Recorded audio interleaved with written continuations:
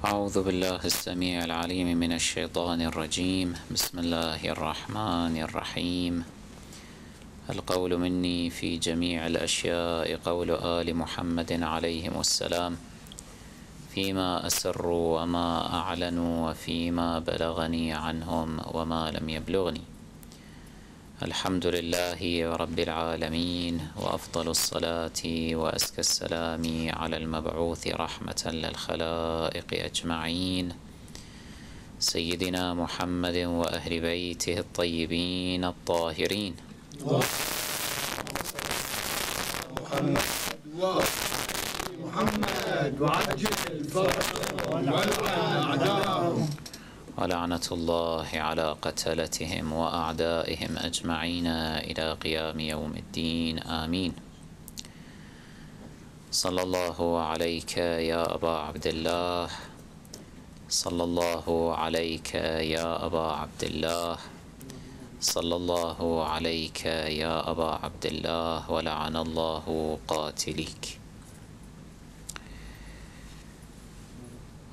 ورقتنا البحثية لهذه الليلة قبل أن نشرع أو ندخل فيها. فإننا نحتاج إلى التذكير بمقدمات ثلاث. هذه المقدمات سبق وذكرناها في محاضراتنا المتفرقة السابقة. المقدمة الأولى أننا نحن نتبع أهل بيت الطهارة صلوات الله وسلامه عليهم أجمعين. الذين إحدى خصوصياتهم أنهم طاهرون طهارة كلية بمعنى أنهم في جنبة الروح طاهرون فلا يرتكبون أية معصية بل ولا يرتكبون أي شيء يخرم العلاقة المثلى التي تربطهم بالله تبارك وتعالى. كذلك هم طاهرون في جنبة البدن. فإنهم لا يتعرضون للنجاسات. بل ولا تتداخل معهم النجاسات بنحو أو بآخر. بل نستطيع أن نعبر هكذا بناء على أدلة مستفيضة. جاءت عندنا وجاءت عند مخالفينا على السواء. نستطيع أن نعبر أنه حتى فضلاتهم صلوات الله عليهم هي طاهرة. دماؤهم مثلا طاهرة. طهارة أهل بيت الطهارة طهارة كلية. وهذا أمر طبيعي إذا لاحظنا سيرة كل إنسان مؤمن. طبيعة الإنسان المؤمن أنه يتحرز كثيرا عن النجاسات ويحاول دائما استبقاء نفسه في حالة الطهارة سواء الطهارة الخبثية أو الطهارة الحدثية. الإنسان المؤمن بطبعه. يحاول دائما أن يبقى على وضوء مثلا.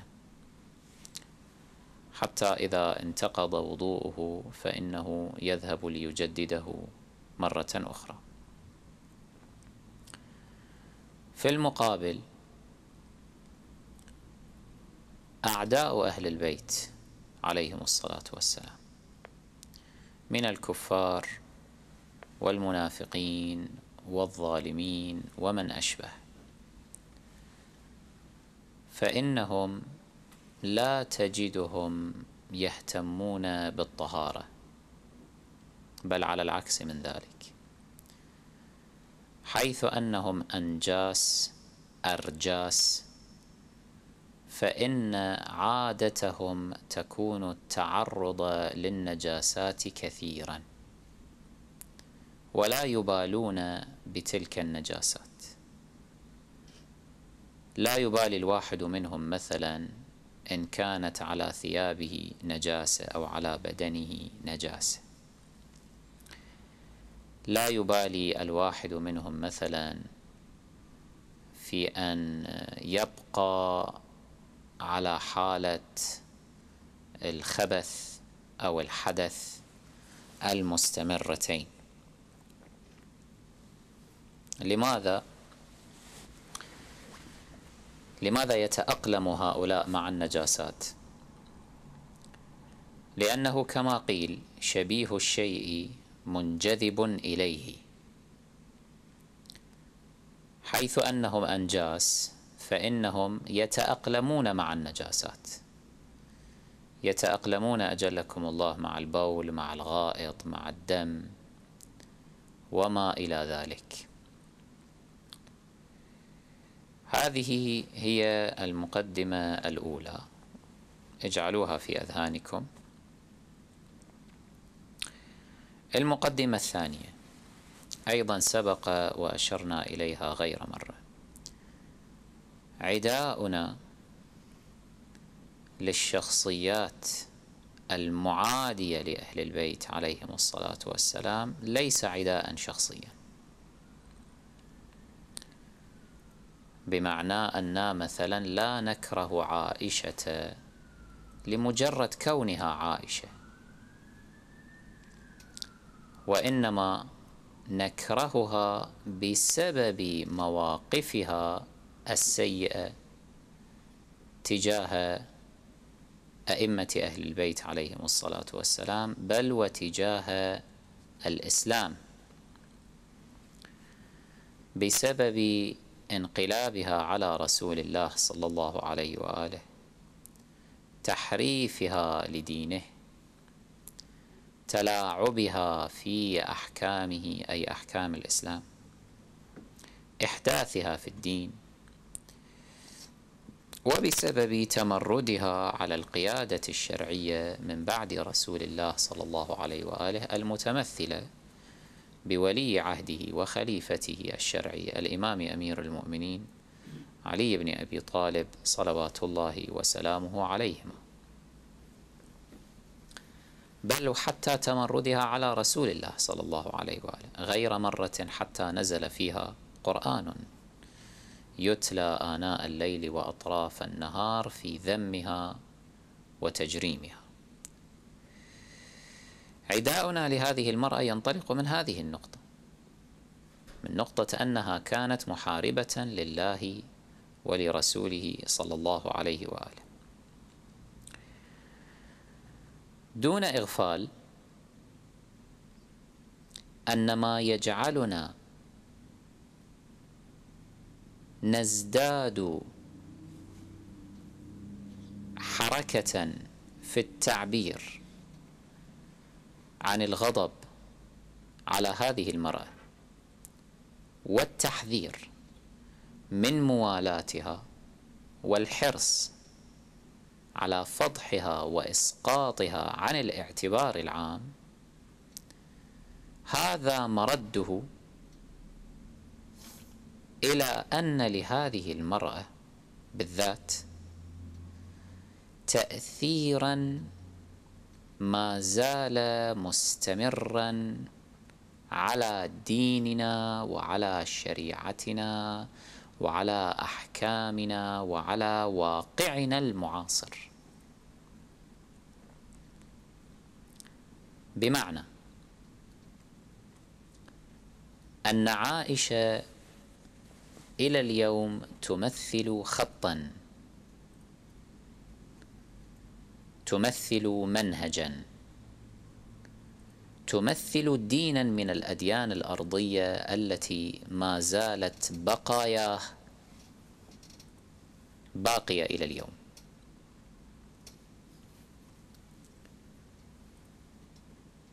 فالحفاظ أو محافظة عائشة على مكانتها هذه سيستبقي وسيحفظ ذلك الدين الأرضي المزيف المنحرف الذي تمثله. سيحفظ ذلك الخط الذي تمثله. وبالتالي يحفظ هذه الانحرافات الموجودة في الدين. يحفظ هذه الأحكام المخالفة للدين والتي يتصورها بعض الناس أنها جزء من الدين الذي أنزله الله تبارك وتعالى. هنالك عقائد جاءت بها عائشة من خلال أحاديثها وليكن إحداها مثلا الاعتقاد بأن النبي الأعظم صلى الله عليه وآله كان ينسى ما يوحى إليه. وهذا من أعظم المطاعن في النبوة. هنالك من بين الأحاديث التي جاءت بها عائشة مثلا أن الله يسارع في الهوى. وهذا من أعظم المطاعن في الذات الإلهية.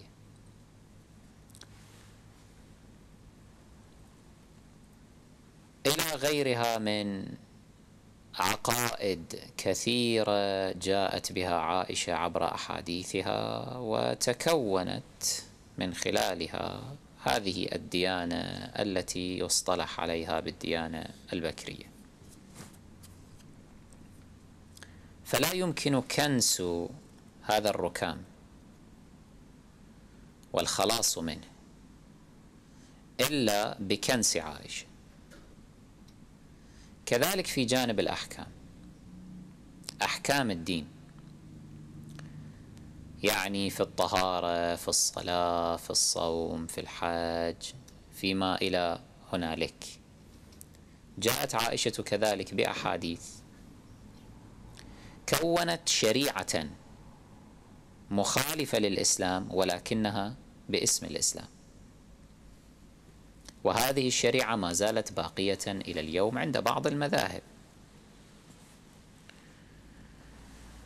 فلا يمكن كنس هذه الأحكام الباطلة المنحرفة المخالفة للإسلام إلا بكنس عائشة أي إسقاطها.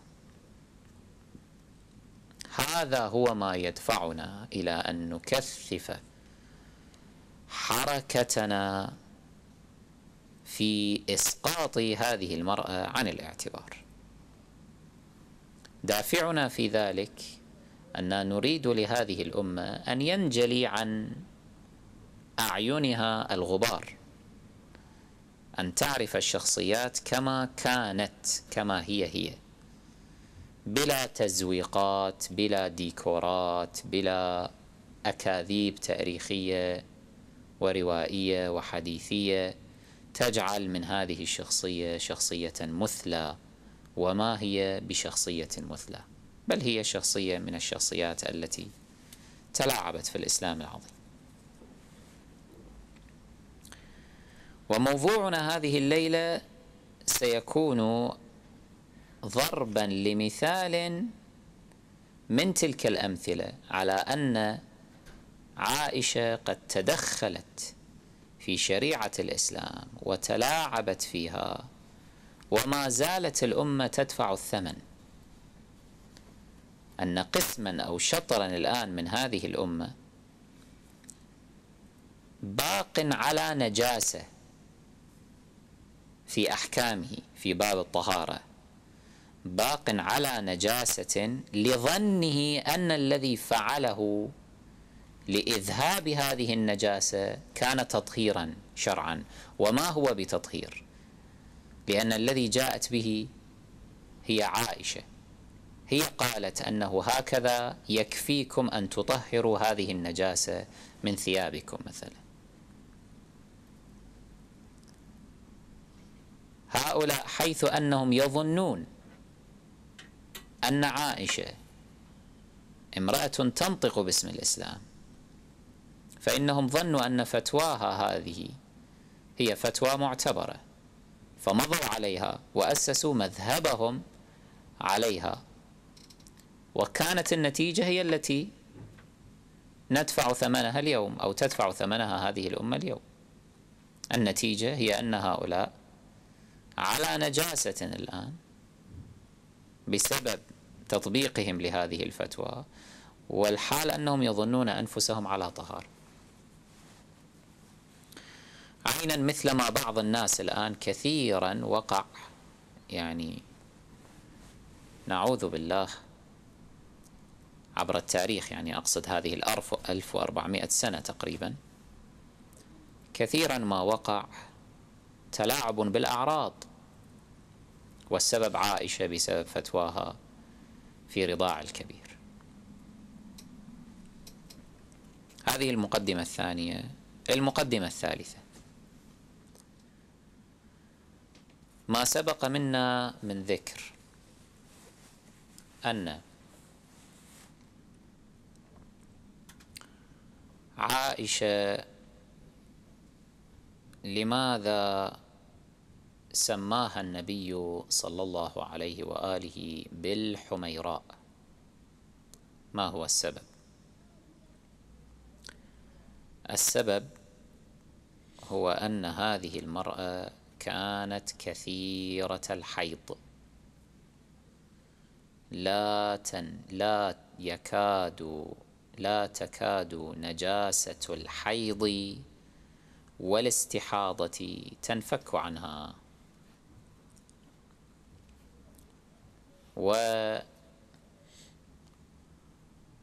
ولذلك قيل عند العرب في أمثالهم. شر النساء الحميراء المحياض. شر النساء الحميراء المحياض. هذا خلافا لتوهم أبناء أهل الخلاف أن الحميراء معناه أو معناها معنى هذا الوصف أن هذه المرأة يعني شقراء أو بيضاء مشربة بحمرة.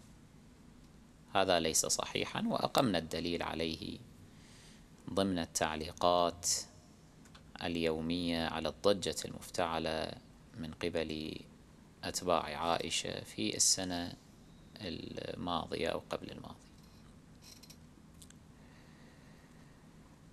فمن هنا ننطلق. نقول إن هذه المرأة كانت كثيرة الحيض. زين.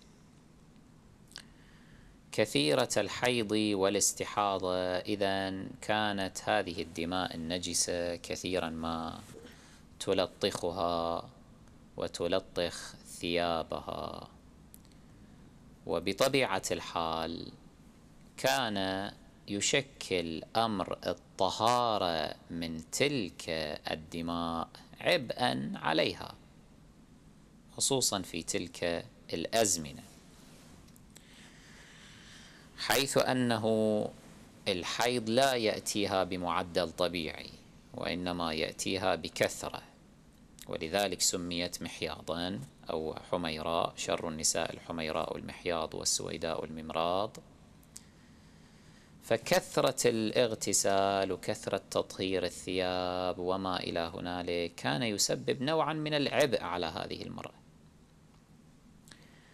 وهي من داخلها كما قررنا في المقدمة الأولى امرأة نجسة يعني امرأة منافقة فلذلك تتأقلم بشكل طبيعي مع النجاسة.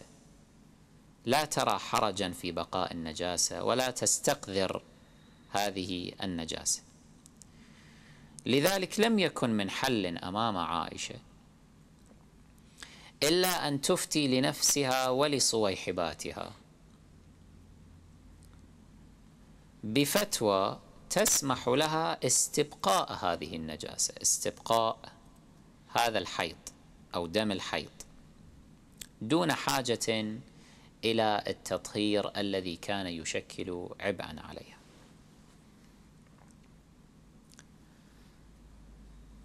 فاخترعت هذه الفتوى كسائر فتاواها الأخرى المخترعة كرضاع الكبير وغير رضاع الكبير. أنه ولاحظوا هنا القذارة يعني هو لا شك أمر مقزز بس يعني لابد أن نبينه يعني تبيانا للحقيقة وعلى منهجنا في الصراحة. لأننا لا نؤيد أبدا إخفاء مثل هذه الصفحات السوداء يعني في التاريخ. أنه يكفي المرأة يعني التي ترى على ثيابها دم الحيض أن تأخذ شيئا من ريقها من لعابها من لعاب الفم وتضعه على هذا الموضع موضع الدم من الثياب وتفركه تفركه شيئا ما قليلا. هذا كاف هذا يعني مطهر. هذا يطهر. تقول عائشة كما في رواية أخرجها البخاري في صحيحه ورقم الحديث هناك ثلاثمائة وأربعة. بسنده عن مجاهد قال قالت عائشة ما كان لإحدانا إلا ثوب واحد تحيض فيه. حسب دعواها أنه ما كانت لإحدانا يعني نحن نساء النبي صلى الله عليه وآله إلا ثوب واحد وكان هذا الثوب تحيض فيه المرأة فيصيبه شيء من نجاسة دم الحيض. تقول فإذا أصابه شيء من دم قالت بريقها. قالت بريقها يعني وضعت مثلا إصبعها أو يدها في فمها وأخرجت الريق فقصعته بظفرها.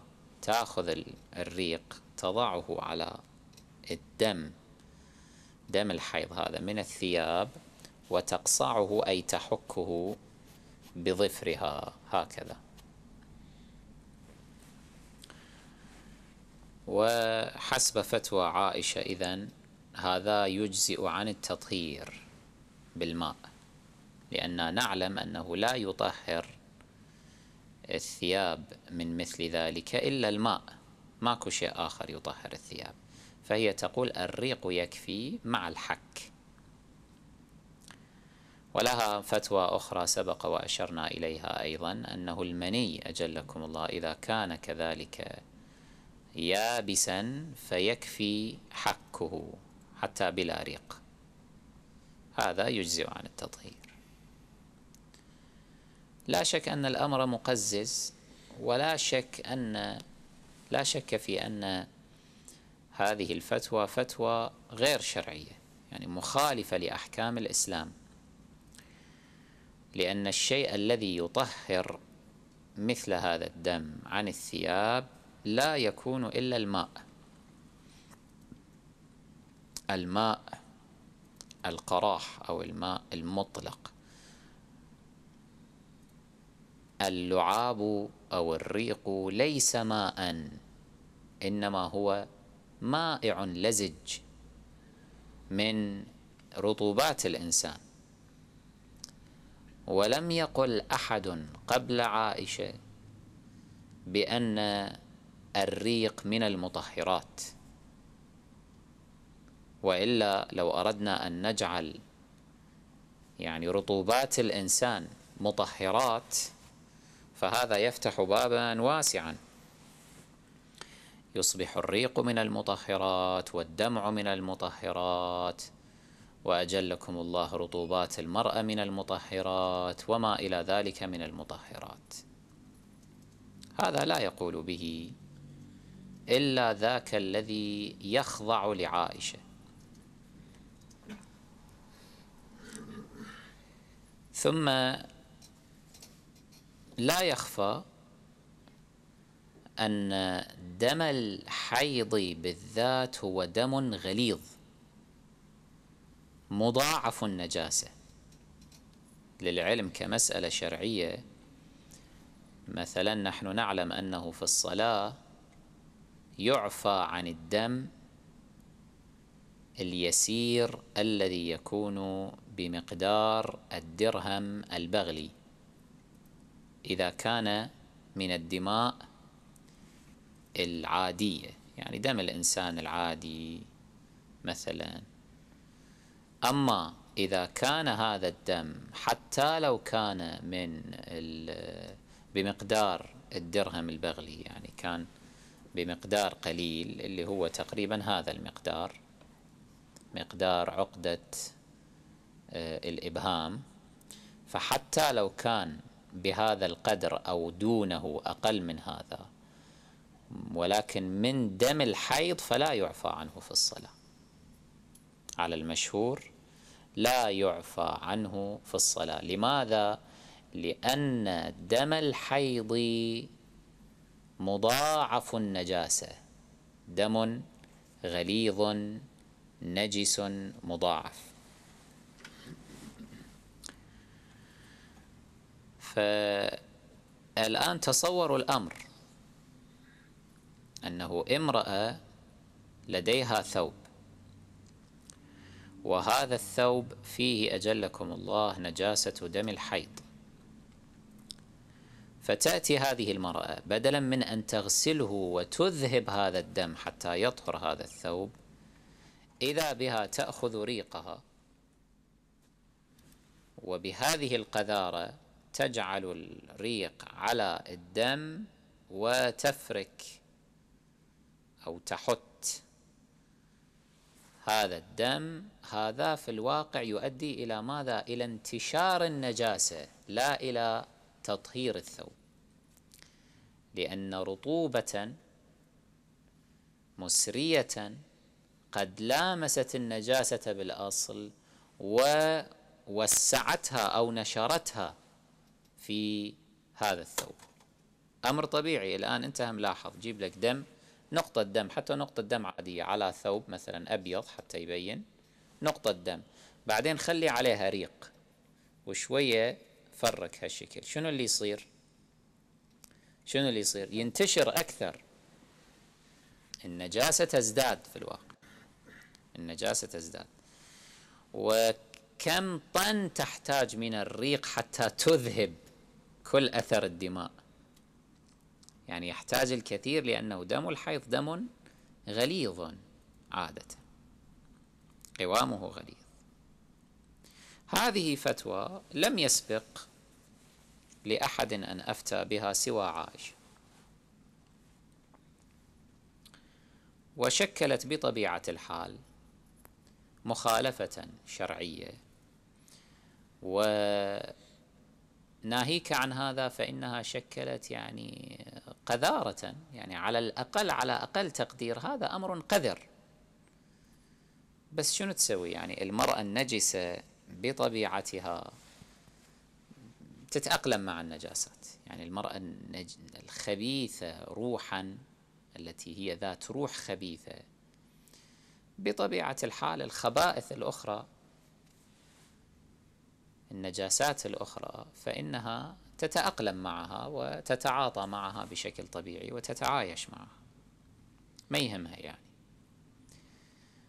وأنا مجرد ما أتخيل هكذا يعني حقيقة ساعد الله قلب النبي الأعظم صلى الله عليه وآله. إذا كانت تصنع مثل هذا في زمانه صلى الله عليه وآله فحقيقة لا يلام لا يلام على إشمئزازه منها الذي يلاحظ من الروايات ولا يلام على ما استظهرناه من الروايات أيضا ومن بعض الأدلة استظهارا. أؤكد وأقول استظهارا وليس على نحو القطع والجزم واليقين أنه ما كان يعني يدخل بها ما كان يباشرها. والسبب هو هذا أنه النبي الأعظم صلى الله عليه وآله طاهر مطهر. لا يعرض نفسه إلى النجاسات. هسه هذه المرأة تخيل هم هي نجسة هم ثيابها نجسة. هي هم لما تضع إصبعها في فمها ومن الفم يروح على أجلكم الله دم الحيض وبعدين الله العالم تلمس شنو أيضا؟ في من ثياب من فرش من كذا. تنجس يعني كتلة من النجاسة. المكان اللي تكون به عائشة كله نجاسة في نجاسة يصير. طبيعة الحال هكذا لأنه كما قلت الشخص غير المتدين غير المؤمن ما يتحفظ من النجاسات عنده عادي يروح أي مكان وكذا ما يهتم ما يتحرز. أنا بالسجن كانت عندي مشكلة المشاكل في هذا الجانب حقيقة مشكلة المشاكل. لأنه كان أيضا بعض النصارى يعني في السجن وهذول هم كانوا يغسلون ثيابهم وأنت تضطر هم تغسل في نفس المكان ومليون مصيبة ومليون مشكلة. وكان بعض السجناء الآخرين كانوا يضحكون علي. يعني ليش أنه هالقد هو يعني متحفظ؟ يعني أتحفظ لأنه هؤلاء بالنتيجة يعني نجسون و ثيابهم هم التي يغسلونها هم ثياب نجسة أصلا. هاي الملامسة بحد ذاتها يعني مشكلة كانت. وعلى أي حال مصائب كثيرة كانت. فعائشة ما كان عندها هذا الشيء. يعني طبيعة الحال كأي امرأة نجسة أو شخص نجس يعني غير متدين ما يتحفظ من النجاسات. إحنا في من جانبنا لما نشوف شخص كهذا يعني هواية نتعب في التعامل معه ما نتحمل يعني نقول هذا بعد ما مو طاهر ما ما يهتم بالطهارة. فكلش مشكلة يعني. فتخيل النبي الأعظم صلى الله عليه وآله شلون كان يعاني من حقيقة تخيل ذلك. هو أنا مجرد ما أفكر في هذا واقعا يعني أقول يعني ساعد الله النبي الأكرم صلى الله عليه وآله. وهو سيد أهل بيت الطهارة بعد ابتلاء من الله عز وجل أنه الله يبتليه بامرأة من هذا النوع من هذا الصنف. على أي حال هذا الحديث وهذه الفتوى هذا حديث صحيح ورد في البخاري. ومثل مشكلة في الفقه البكري. فحاولوا بطريقة ما أن يعتذروا عن عائشة بنوع من أنواع الاعتذار.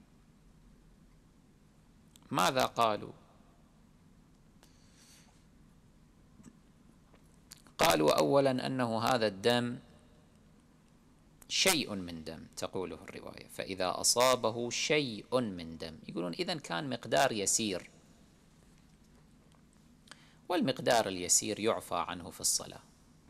أسدع عنك الفتوى من جانبنا أنه حتى إذا كان يسيرا وبأقل من مقدار الدرهم البغلي وكان حتى من دم الحيض فإنه لا يعفى لنسلم أنه يعفى نقول إنه إذا كان الأمر هكذا فلا حاجة لوضع الريق عليه لأنه على العكس من ذلك وضع الريق يسبب انتشار النجاسة لا محاصرتها. هذا اعتذار إذن ساقط. اعتذار آخر. قالوا بعضهم قال يعني كابن حجر مثلا يقول الذي تقصده عائشة من حديثها هذا هو أنه كانت اولا تقصع دم الحيض من الثياب بريقها تحته زين؟ ولكن بعد ذلك تغسله. يعني في البداية تذهب عين هذه النجاسة باستعمال بهذا العلاج يعني باستعمال الريق تذهبه. ثم بعد ذلك تغسله. يعني عائشة أجل من أن لا تفهم أنه لا يطهر الدم إلا الماء. لا يطهر الثوب من الدم إلا الماء. هي أجل شأنا من ذلك. فإذا ما كانت تقصد من كلامها هذا إلا أنه في البداية كنا يضعن عليه الريق كانت تضع عليه الريق هي وتحته أو تقصعه وثم بظفرها هكذا إلى أن يذهب بعدين تصب عليه شوية ماء حتى يطهر. هكذا. ويقول ابن حجر لدي دليل على ذلك وهو دليل حديث أختها. أختها أسماء بنت أبي بكر لها حديث يدل على ذلك وأخرجه البخاري أيضا. الحديث عن أسماء تفضل هناك تفضل. الحديث في البخاري أخرجه برقم 222 عن أسماء بنت أبي بكر قالت جاءت امرأة النبي صلى الله جاءت امرأة النبي صلى الله عليه وآله فقالت أرأيت إحدانا تحيض في الثوب كيف تصنع؟ ماذا تصنع المرأة التي قد حاضت في ثوبها؟ قال حسب زعمهم تحته ثم تقرضه بالماء أو ثم تقرصه بالماء وتنضحه وتصلي فيه. يقول ابن حجر لاحظوا الحديث. في البداية تحته هو هذا الذي كانت تصنعه عائشة تقصعه. تفرك يعني بظفرها. ولكن بعد ذلك ماذا؟ ثم تقرصه بالماء وتنضحه وتصلي فيه. فإذا لابد من إتباع الفرك هذا بالماء.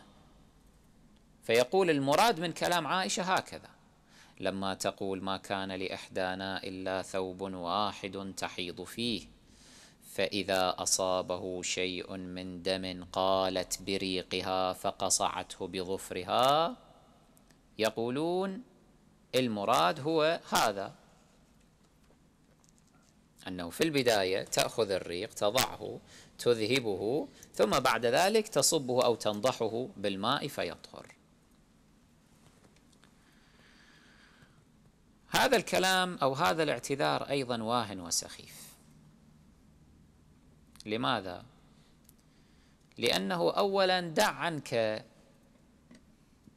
أن المرأة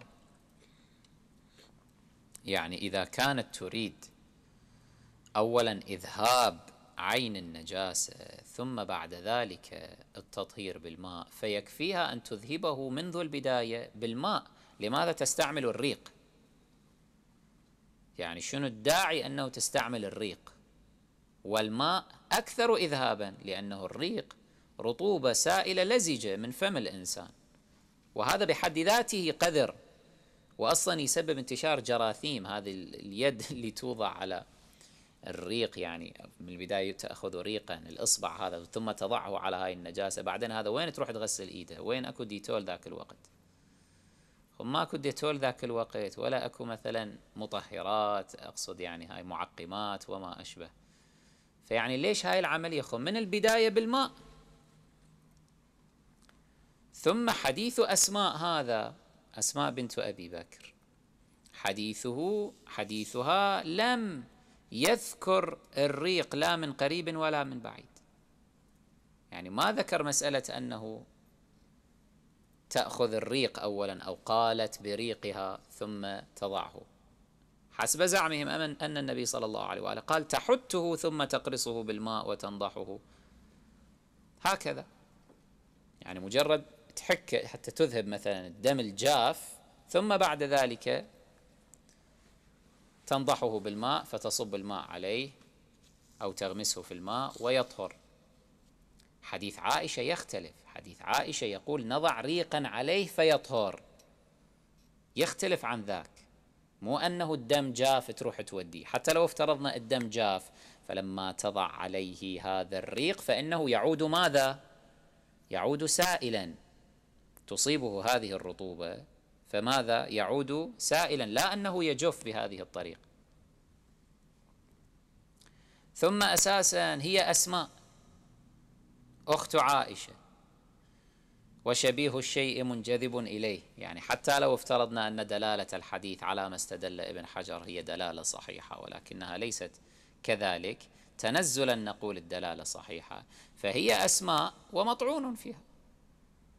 باعتبار أنها تريد تصحيح فتوى أختها وكلتاهما امرأتان نجستان منافقتان. نقول مع قطع النظر أو مع غض الطرف عن كل هذا فإن هذا الاعتذار الذي جاء به ابن حجر مردود من واقع حديث آخر لعائشة. يثبت ذلك الحديث الآخر أن عائشة ما قصدت من الحديث الأول أنها كانت تضع ريقها على الدم دم الحيض ثم تقرصه أي تحكه بظفرها أو بظفرها. ثم بعد ذلك تغمسه بالماء أو تصيب تصيبه بالماء حتى يطهر. ابدا. كانت تقصد هو المعنى الذي نحن ذكرناه أن هذا يكفي عن التطهير بالماء لا حاجة لاستعمال الماء. في تطهير الثوب من دم الحيض لماذا؟ لأن في الحديث الآخر تصرح عائشة بما يلي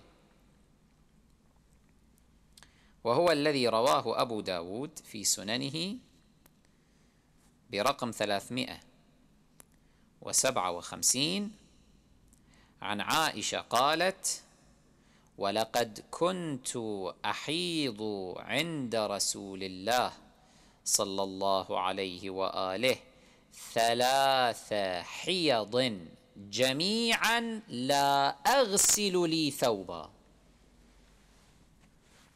ما أغسل حتى مرة واحدة. تحيض وهذا الحيض يصيب دمه. النجاسة هذه تصيب الثياب يصيب ثوبها. وتقول ثلاث مرات أنا حفظت وطهرت ثم حفظت وطهرت والدماء باقية على الثياب. لم أغسل الثوب. لم أغسل يعني شنو؟ ما استعملت الماء. إذا كيف كانت تطهر؟ إما تتركه وإما كانت تفركه بالريق كما ذكرت في حديثها الأول. شوف الوصاخة بس والقذارة يعني.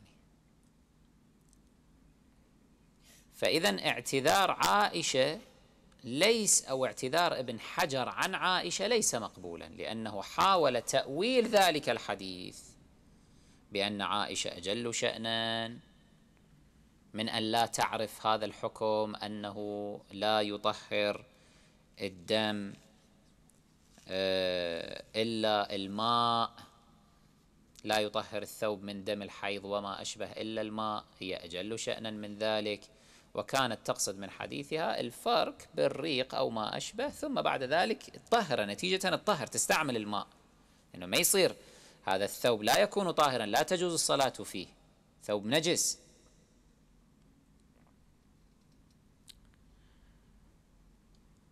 فهذا الاعتذار من ابن حجر ليس بمقبول. لماذا؟ لأن عائشة نفسها صرحت عائشة نفسها صرحت أنها ثلاثة حيض حاضت لم تغسل لها ثوبا.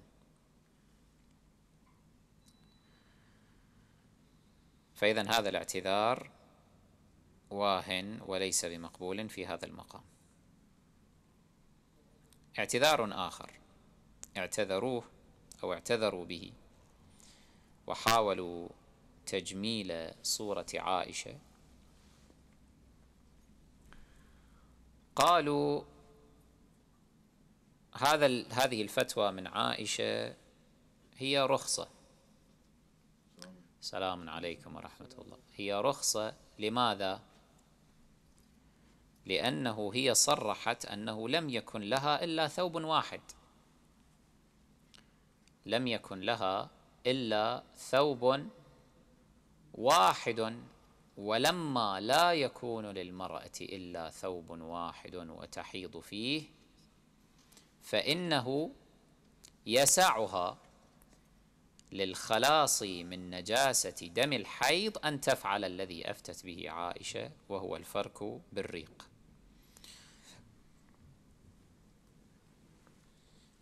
الجواب هذا الاعتذار أيضا ساقط ولا محل له من الاعتبار. لماذا؟ لأن حكم النبي الأعظم صلى الله عليه وآله.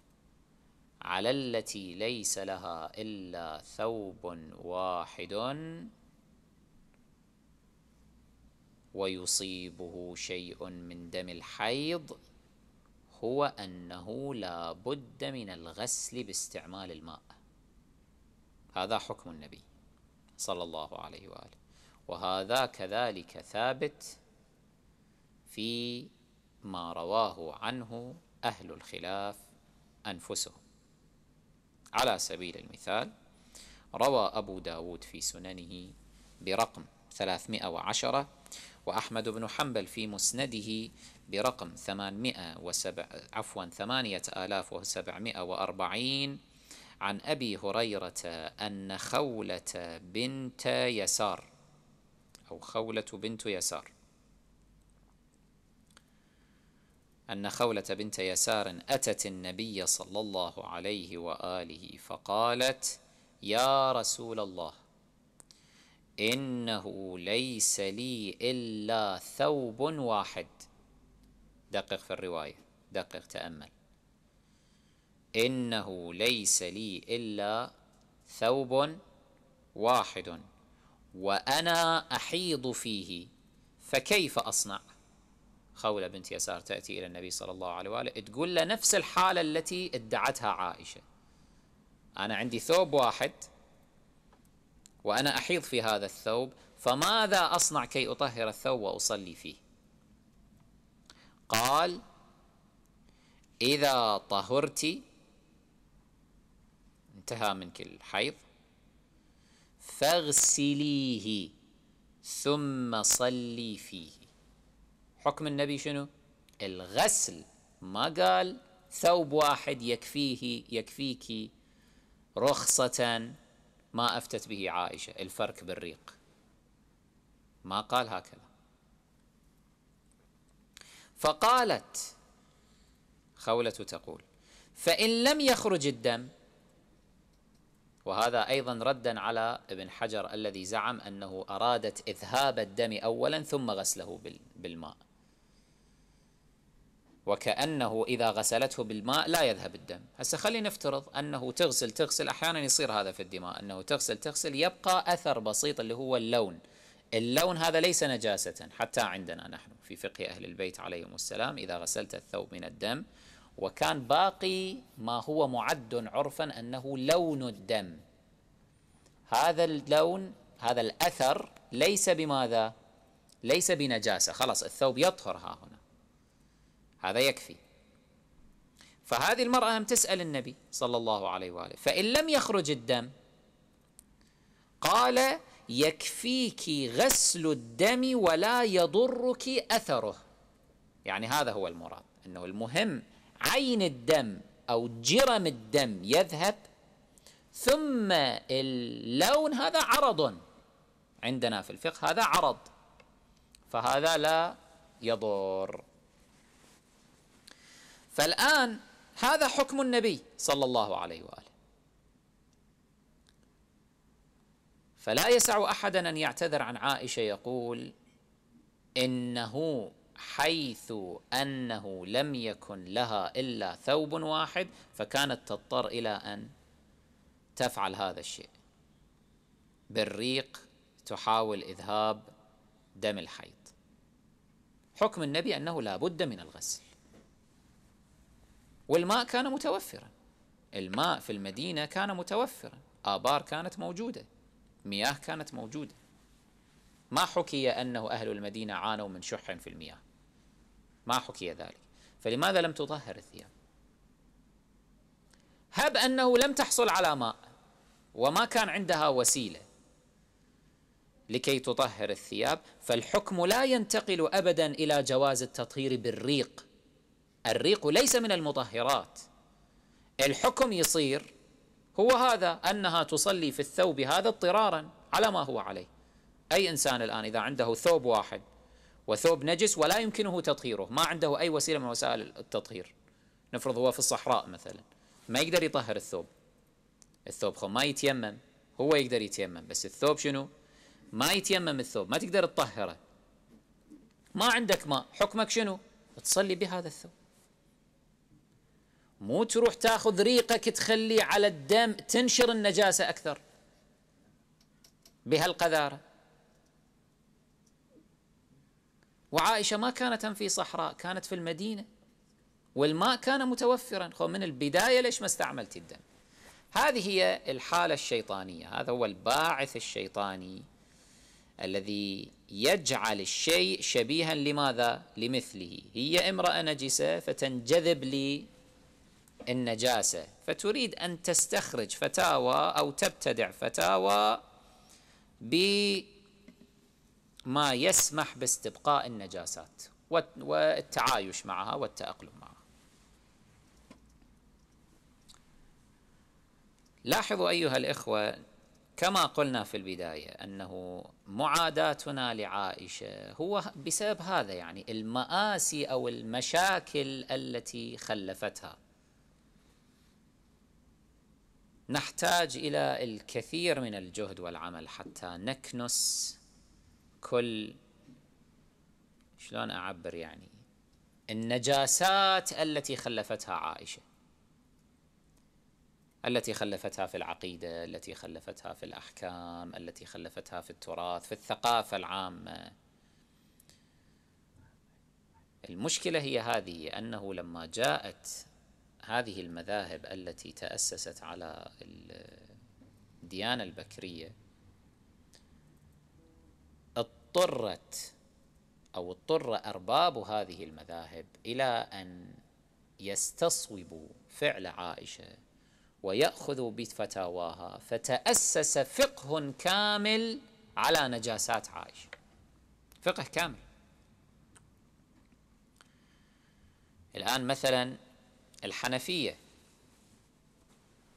يعني أتباع أبي حنيفة يعملون بفتوى عائشة هذه ووسعوها بناء على أصولهم في القياس وسعوها إلى أن كل مائع مطهر لأنه الريق ليس ماء وإنما هو مائع فقالوا كل مائع مطهر خلص فلذلك قالوا يجوز التطهير حتى بالنبيذ. بماء الورد بالعصير. عصير برتقال اطهر به ماكو مشكلة. مائع لأنه عائشة قالت الريق هذا مطهر. هذا كنت أنا أطهر به ثيابي من الحيض. مو الشكل فشنو الفرق بين الريق وبين العصير؟ شنو الفرق بينه وبين الخل مثلا؟ شنو الفرق؟ أي شيء مائع أي شيء سائل تطهر. خلص فصارت مشكلة مشكلة عويصة. الله العالم 1400 سنة, سنة إلى الآن. كم شخصا تطهر بالمائعات وظن نفسه متطهرا وقام صلى وصام وأدى العبادات المشروطة بالطهارة وكله كان باطل في باطل لأنه كان على نجاسة.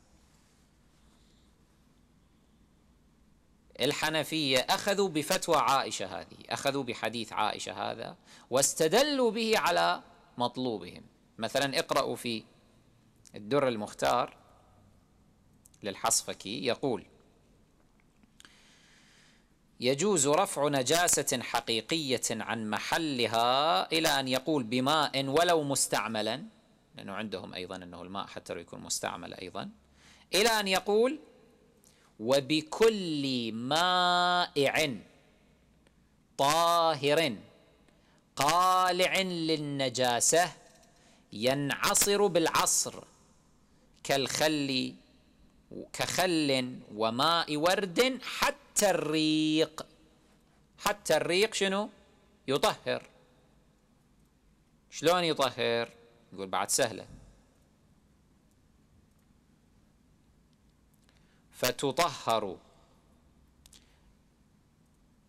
إصبع إصبع. وثدي. تنجس بلحس ثلاثا.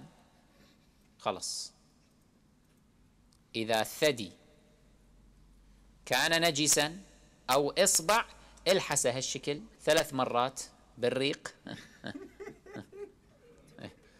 ثلاث مرات. فشنو يصير؟ يطهر. فشوف المأساة. شوف مأساة عائشة شنو سوت. فقه كامل تأسس على فتوى عائشة. لهذا السبب على المخالف أن يستوعب لماذا نحن نزداد نشاطا وحركة في محاولتنا لإسقاط هذه المرأة عن الاعتبار. لأن في إسقاطها إسقاطا لهذا الفقه المنحرف إسقاطا لهذه الفتاوى إسقاطا لهذه التلاعبات في الأحكام إسقاطا لهذه التلاعبات في العقيدة. كما قلت المسألة هي مسألة آه يعني مسألة مبدئية وليست مسألة خاضعة للهوى لا سمح الله أو خاضعة ل يعني عداء شخصي. ما عندنا أي عداء شخصي مع عائشة لو افترضنا عائشة كانت امرأة مؤمنة متقية لا تتلاعب بأحكام الله عز وجل لم ينزل قرآن في ذمها كانت مثلا كخديجة الكبرى صلوات الله عليها أو كأم سلمة عليها السلام أو كمارية القبطية عليها السلام مثلا أو كانت كأم أيمن رضوان الله تعالى عليها أو أي من نساء المهاجرين والأنصار الصالحات. لما تعرضنا لها بكلمة سوء واحدة بل على العكس لكنا شرفناها وجللناها وعظمناها. وإن كانت بنت أبي بكر يعني لو عندنا مشكلة مع أبوها بس إذا هي بنت صالحة نحترمها مثل ما أخوها يعني محمد بن ابن أبي بكر لكن نحترمه لأنه ما عندنا مشكلة شخصية مع أحد. قضيتنا مبدئية. ها نحن نضرب الأمثلة. هم إلى الآن يصرون في يعني الافتراء علينا. المخدوعين بعائشة المفتونين بعائشة كما فتن بنو إسرائيل بالعجل. شنو يقولون؟ يقولون هذا عداء شخصي من قبلكم. أنتم حاقدين على عائشة. إحنا مو حاقدين. القضية قضية أنه نحن نهتم بالإسلام. لا نريد لهذا الإسلام أن يتلوث بهذه النجاسات. الآن أنتم نسائكم صدقوني هم ولا واحد يقبل على نفسه. إذا واحد الآن يشوف امرأته تروح تخلي إصبعها وتأخذ ريق تخلي على دم الحيض وكذا ثاني يوم يطلقها. يقول شو الوساخة هذه؟ شو القذارة هو إذا قالت له هذه الست الست عيشة قالت. يقول يا عيشة يا بطيخ تخليني أنا أتقزز هكذا أتقيأ من تصرفك. شوفي هذا باعث الفطرة. يعني باعث الفطرة يستقذر هذا فاعلم أنه نجاسة خلاص. نجاسة بعد واضح. هذا كمثال فقط من أمثلة شتى على التلاعبات التي قامت بها عائشة. وها نحن بينا أن كل الاعتذارات التي اعتذر يعني عن عائشة في هذا المورد هي اعتذارات ساقطة وليس لها محل من الاعتبار. أه، فافتحوا مجال للاتصالات إذا كان أحد أه، عنده جواب على هذا الذي نقوله أو مناقشة لا بأس. أو أحد من الإخوة الموجودين أيضا إذا أكو أي تساؤل. أي مو مشكلة. إيه بس خلي يخلوا لك. خلوا للأخ إي إي أكو مجال للسؤال. نعم. آه، أول شيء آه، شيخنا اسمح لي. أول شيء نرحب بالإخوان المشاهدين. نعم. ويا ليت إن الاتصالات من البكرية تكون في هذا المحور الموضوع. ونعطي دائما آه، أفضلية أو للمتصلين على الإخوان الموجودين في عندنا. تفضل سيدنا تفضل. لا تفضل. السلام عليكم. عليكم السلام ورحمة الله. عفوا شيخنا بس كان عندي سؤال. حبيت اساله ما دام كان نحكي على النجاسه على عائشة لعنة الله عليها. لعنه الله. البكرية مثلا ممارسة الجنس والامرأة هي حائضة يصير عندهم يقبلون بهذا الشيء لو لا؟ يعني إحنا ما نقبل الشيء يعني نقول هذا الشيء ما بلي. هذا حرام عندنا ال- البكري هم يقولون حرام لو لا؟ على ما ببالي أنهم اختلفوا في ذلك. مختلف الأصل عندهم هو الحرمة لا شك. ولكن يبدو بعضهم قد جوزه بعض الحنفية جوزته.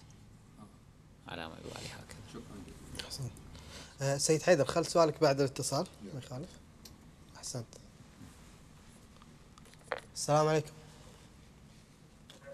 السلام عليكم. السلام عليكم. عليكم السلام. تفضل.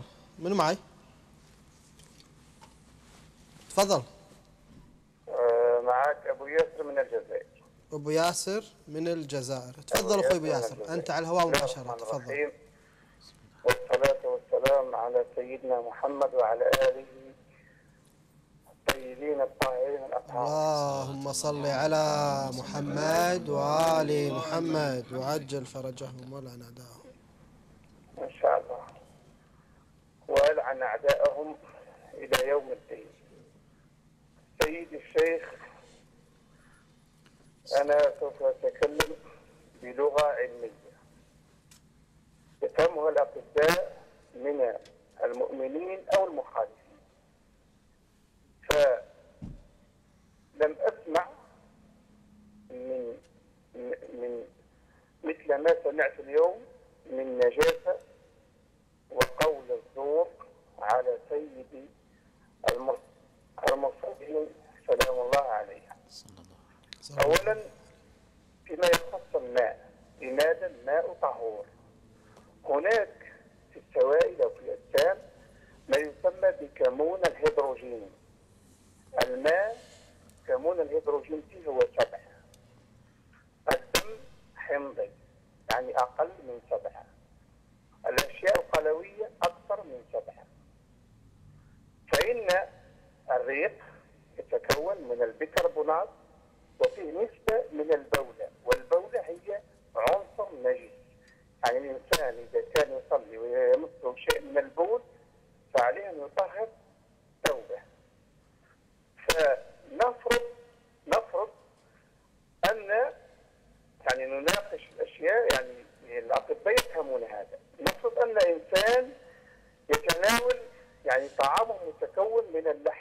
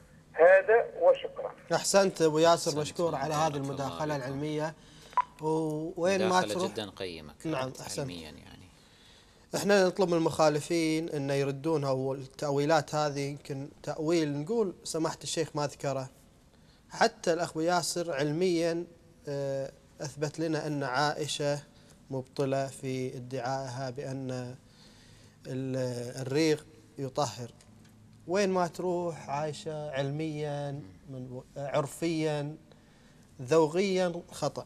لا شك. آه، أبو حيدر تفضل سؤالك. السلام عليكم شيخ عليكم السلام ورحمة الله. يعطيكم العافية إن شاء الله. شيخنا الله يعافيك. شنو السبب؟ هوس عائشة بقضايا الحيض والدم والنجاسة وال... يعني أكو دائما تركيز من حديثها على هالمواضيع بالذات. الحيض والاستحاضة و... والنجاسة والطهارة وغسل الجنابة و... يعني هل أكو دافع نفسي عندها أو تخصص مثلا عندها كان الموضوع ما ما أعرف. يعني بس ملاحظ كثير عليها. صحيح. يختلف عن بقية النساء مثلا أو أو سيرة مثلا أمهات المؤمنين اخريات أو كذا. ما أعرف. صحيح. هو الحقيقة هو هذا يعني كما سبق وأشرنا ذات مرة أنه المرأة هذه حيث أنها ذات طبيعة نجسة روحية فإنها كانت تتأقلم شيئا فشيئا مع النجاسات. كان هذا يلاحظ عليها من قبل بقية النساء. وكانت تسأل ليش مثلا أنت هكذا ما تتطهرين؟ ليش أنت كذا؟ فتخترع أحاديث على لسان رسول الله صلى الله عليه وآله أو تفتي بفتاوى معينة حتى تجوز المضي على مثل هذه الحالة وتبيح للناس البقاء على النجاسات. هذا جانب.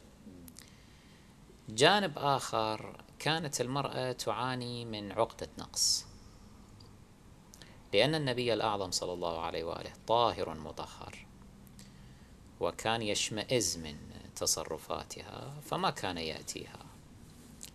لذلك اخترعت كذلك كثيرا من الأحاديث التي آه، يعني كانت أشبه بقصص خيالية عن علاقتها الجسدية مع النبي صلى الله عليه وآله. وصورت النبي بصورة ذلك يعني الشيخ المراهق إنجاز التعبير كأنه رجوع الشيخ إلى صباه والعياذ بالله. ما كان يعني يستطيع أن يفارقها لحظة واحدة. حتى وهي في حال الحيض قلت له إني حائض. قال وإن اكشفي عن فخذيك. فجاء ووضع أجلكم الله ما أحب بعد أكمل ال يعني ال الأمر لأنه في إساءة للنبي الأعظم صلى الله عليه وآله والمصيبة أنه في البخاري. فهذا حتى شوف طبيعة المرأة يعني تريد أنها تصور نفسها خصوصا أمام الآخرين أنها يعني آه، كانت فاتنة وجميلة والنبي مفتون بها. حتى تغطي عقدة النقص هذه أو تشبع حاجتها النفسية إنجاز التعبير لأن تصور نفسها بصورة المرأة ذات الأنوثة الطاغية يعني. فكانت تبتدع مثل هذه الأحاديث وتتحدث كثيرا في مثل هذا الجانب. هذا شيء الشيء الثالث الآن شو شيئين مرة معنا. الشيء الثالث عائشة كانت بصريح العبارة تريد أن تلفت أنظار الرجال. والحديث في مثل هذه الأمور كان يلفت أنظار الرجال إلى درجة وهذا ذكرنا أمثلة كثيرة منه في كتاب الفاحشة إذا راجعتم أنها كيف تتعمد أن تتحدث في مثل هذه الأحاديث على طريقة الفتوى على طريقة ما أدري العلاقة بينها وبين النبي صلى الله عليه وآله على طريقة يعني مبرر ما حتى تجعل بقية الرجال يعني يلتفتون وتبدأ آه، يعني شهواتهم بالتحرك. استثارة. جنسية كانت تصنع. وهذا كان يفتح الطريق أمام أن الرجال يأتون لكي يطرقوا بابها وهذا كان يتطور إلى أمور وأمور تصل إلى حد أنه البعض يبات عندها في الليل ويجري ما يجري. فهذه كلها عوامل دخلت في مثل هذا الجانب. وسبحان الله تجد هذا يعني كثيرا في شخصية ال- الإنسان غير السوي أو الإنسانة غير السوية أنه يحاول دائما أن يلج في مثل هذه القضايا الحساسة والحديث في مثل هذه الأمور حتى يعني يشبع غرائزه من جهة أو يستجلب مصالحه من جهة أخرى أو يغطي شيئا من العقد الذي المتراكمة عنده. فعائشة كانت على هذه الصفة. أحسنت سماحة الشيخ ونأخذ اتصالات الأخوة. السلام عليكم. السلام عليكم. ألو؟ السلام عليكم من معي؟ السلام عليكم ورحمة الله وبركاته. حياك الله. عليكم السلام. الله يخليك بحق الزهراء. بس أريد أسلم على الشيخ البطل. إيه، منو أنا معي؟ جمال الشاوي من هولندا. كمال الشاوي حياك الله. حياكم الله. أهلا وسهلا. بس اخفض على التلفاز أخوي وخليك معي على الهاتف لو سمحت. تفضل. نعم صوتك شوية واطي عندي ما اسمعك اي. نعم اخفض على التلفاز لو سمحت وخليك معي على الهاتف. يلا أوكي أنا باخذ. نعم تفضل أنت على الهواء مباشرة تفضل. ألو السلام عليكم. عليكم السلام ورحمة الله وبركاته. شلونك شيخنا؟ يا بطل علي وياك علي. أنا جمال التكريتي أصلي سني 2007 الله هداني الهداية ال- الولاية للإمام علي عليه السلام. الحمد لله هنيئا لكم وثبتك الله على الإيمان وأقر عينك برؤية محمد وآله عليهم السلام في الجنة. اللهم صل على محمد وآل محمد. اللهم صل سؤال شيخنا الله يخليك. طبعا أنا تشيعي سبب لي قطيعة ويا هواية ناس. من ضمنهم قرايب وأهل. وسبب- سؤال دائما واحد من قرايبي يسألني يقول لي عثمان ذو النورين. أنا هاي والله ما أفهمها بصراحة نعم. إن شاء الله أخوي جمال ال- آه، خليك معانا إن شاء الله على ال- يعني تابعنا وإن شاء الله سماحة الشيخ يجاوب على هذا السؤال. ألف رحمة على والديكم الله يخليكم ويخلي الشيخ البطل لنا ولآل البيت صلوات الله عليه. جزاكم الله خيرا. بارك الله حياك الله أخوي جمال. مع السلامة مع السلامة. ألف شكر ألف شكر. حياكم الله حياكم الله يعينه بعد هم تكريتي وصاير شيعي. لا في تكريت كثير من الأخوة الشيعة والمتشيعين كذلك الحمد لله. نعم متشيعين ولكن لا لا حتى الشيعة بالأصل موجودين في تكريت. السلام عليكم. ألو؟ السلام عليكم. وعليكم السلام. قناة سدى نعم منو معي؟ آه، ممكن أنا أم أحمد دا خابر من السويد. ممكن آه، أكلم شيخنا؟ نعم تفضلي أنت على الهواء مباشرة. شكرا. تفضلي أختي ام احمد انت على الهواء مباشرة تفضل. ألو؟ بلي نعم. مرحبا.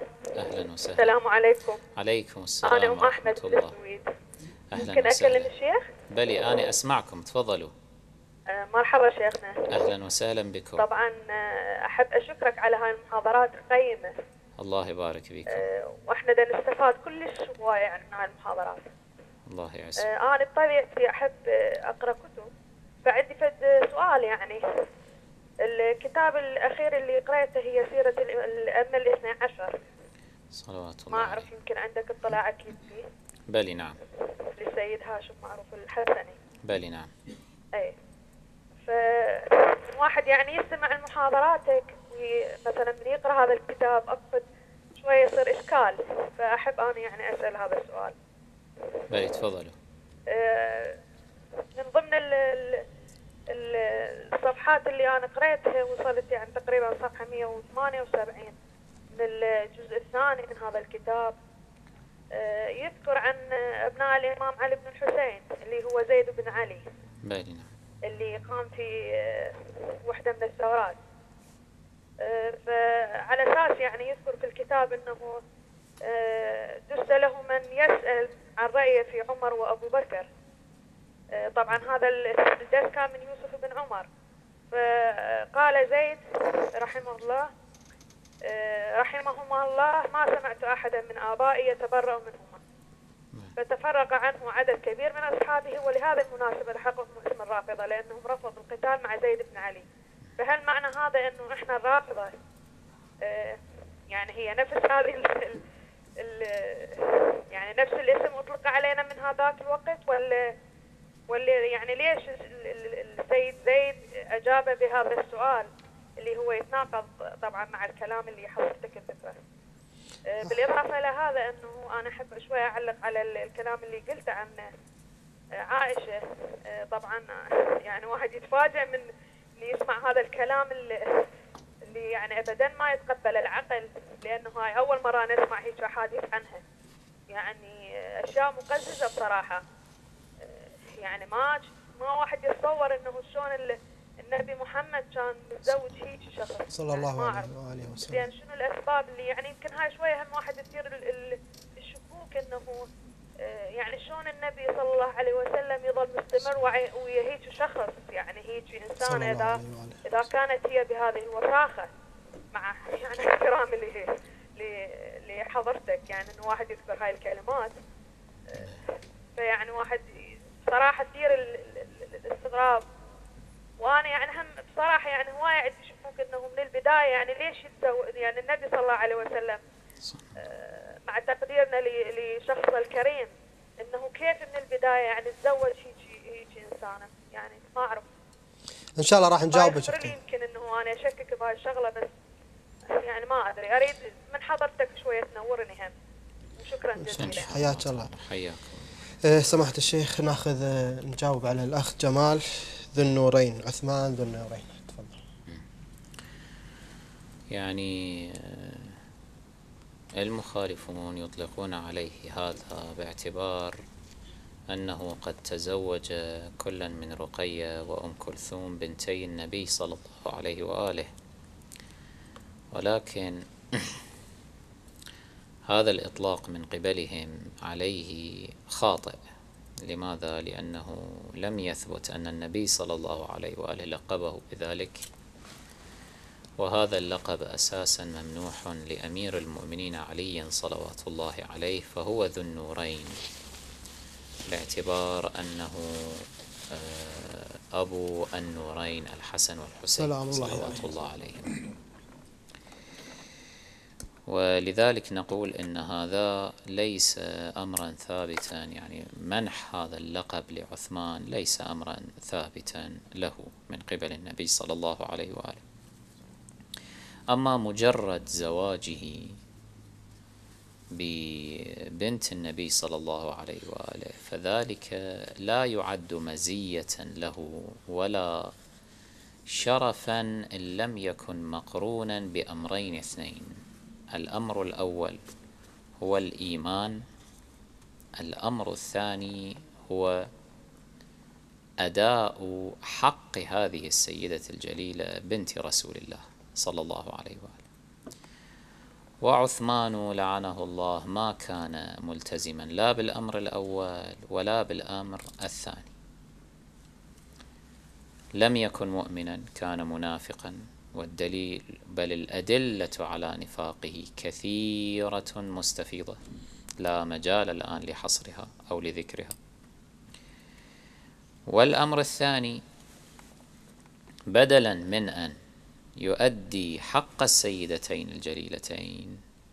عليهما السلام فإنه قد قتلهما وآذاهما ونزل فيه قرآن وجاءت أحاديث بذمه بسبب ذلك. لماذا زوجه النبي صلى الله عليه وآله؟ كما ذكرنا أكثر من مرة. أئمتنا الأطهار عليهم الصلاة والسلام بينوا الحقيقة. قالوا ما مضمونه إن النبي الأعظم صلى الله عليه وآله جاء إلى ابنته رقية. وقال لها ما مضمونه كذلك؟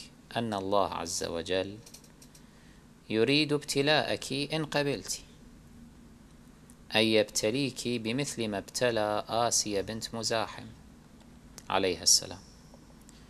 التي زوجها من فرعون عليه اللعنة فصبرت وآذاها فرعون إلى أن قتلها ولكن بنى الله لها بيتا في الجنة وصارت من سيدات نساء العالمين الأربعة فإذا أردت أنت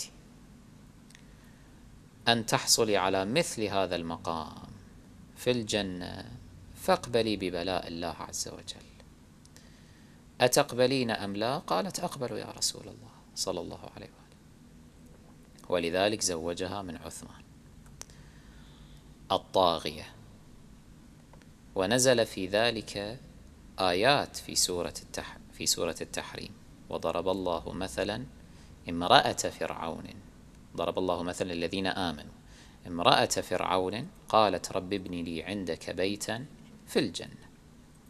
ونجني من فرعون وعمله. فالقضية جرت على هذا النحو. والجاهل هو الذي يتصور أن مجرد تزويج النبي صلى الله عليه وآله ابنتيه من عثمان يعني ذلك أنه عثمان عليه أوكي يعني خلص ما دام زوجه يعني عليه أوكي. إذا كان الأمر على هذا يعني نقضا نحن نقول رسول الله صلى الله عليه وآله زوج ابنته الكبرى زينب عليه السلام من أبي العاص بن الربيع. وكان حين ذاك ماذا؟ مشركا أصلا مشركا. فهل يقال أن مجرد تزويج النبي ابنته الكبرى من أبي العاص بن الربيع دلالة فيه على أن أبا العاص مؤمن وجليل القدر؟ لا يقول بهذا عاقل. مثال آخر. النبي العظيم لوط عليه السلام سعى وراء تزويج بناته ممن؟ من رجال كفار شواذ جنسية إلى هالدرجة. لما جاءوا إليه ماذا قال لهم؟ قال هؤلاء بناتي هن أطهر لكم. والنبي لوط لا يكذب أي أنه كان جادا في عرض بناته على هؤلاء الرجال. فلو افترضنا أن الرجال أولئك قد قبلوا لا شك أن التزويج كان قد تم لا محالة.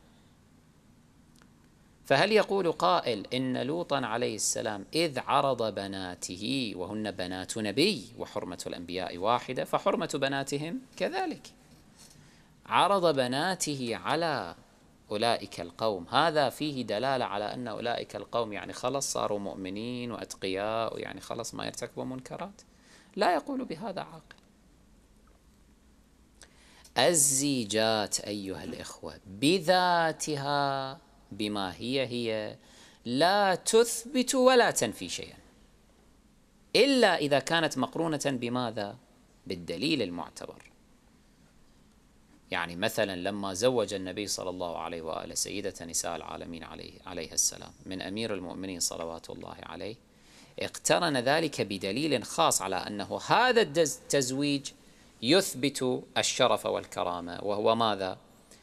أن النبي قال كما هو مستفيض إن الله زوجها منك الله لأنه ليس لها كفو إلا علي آدم فمن دونه أما في شأن عثمان فلم يصح في ذلك شيء. كله من منحولات بني أمية من مخترعات بني أمية. جاهل هذا الذي يتصور أنه مجرد التزويج يثبت مقاما دينيا لأحد. سواء أن النبي صلى الله عليه وآله يتزوج من أحد أو يزوج أحدا. يعني النبي أيضا تزوج نساء كن غاية في الحقارة والخس واحدة من تلك النساء. أنا دائما أكرر المثال لأنه أدري أنه البعض ما يسم يعني ما سامعين من قبل فمرة أخرى أكرر. أنه إحدى نسائه شنو اسمها؟ أحسنتم. قتيلة بنت قيس الكندية. امرأة سوء كانت والدليل على ذلك أنها بعد النبي ارتدت. ما طلقها النبي ارتدت بعد النبي ارتدت وآمنت بمسيلمة الكذاب. إجماع أكو على ذلك حتى المخالفين يقرون بذلك. تزوج النبي بنت أبي سفيان. أم حبيبة تزوج النبي أسماء بنت النعمان التي قالت أعوذ بالله منك. تزوج تلك المرأة التي كانت منافقة بعد صريحة صريحة إلى درجة أنه لما توفي إبراهيم ابن رسول الله صلى الله عليهما وآلهما قالت لو كان نبيا ما توفي ابنه أو ما مات ابنه. يعني شاكة في النبوة مو شاكة أصلا أصلا جاحدة للنبوة. فطلقها النبي أيضا بعد ذلك بعد هذه الكلمة لأنها أظهرت الكفر. هذا كاشف عن أنها أساسا كانت منافقة غير مستقر الإيمان في قلبها. ولكن حين تظهره المنافق إذا نطق بكلمة الكفر صريحة فإنه بعد تنفسخ العروة فلا يقول قائل بأن النبي صلى الله عليه وآله كل هؤلاء النساء حتى اللائي طلقهن شرفهن بمثل هذا التشريف ومن هنا ندخل للجواب على الأخ. السؤال الثاني للأخت التي اتصلت الأخير أي يعني السؤال الأخير أي. نعم أنه نقول كما قلنا كرارا الله عز وجل ابتلى نبيه صلى الله عليه وآله بتزويجه من عائشة. ابتلاء. حتى يستخبر صبر النبي صلى الله عليه وآله.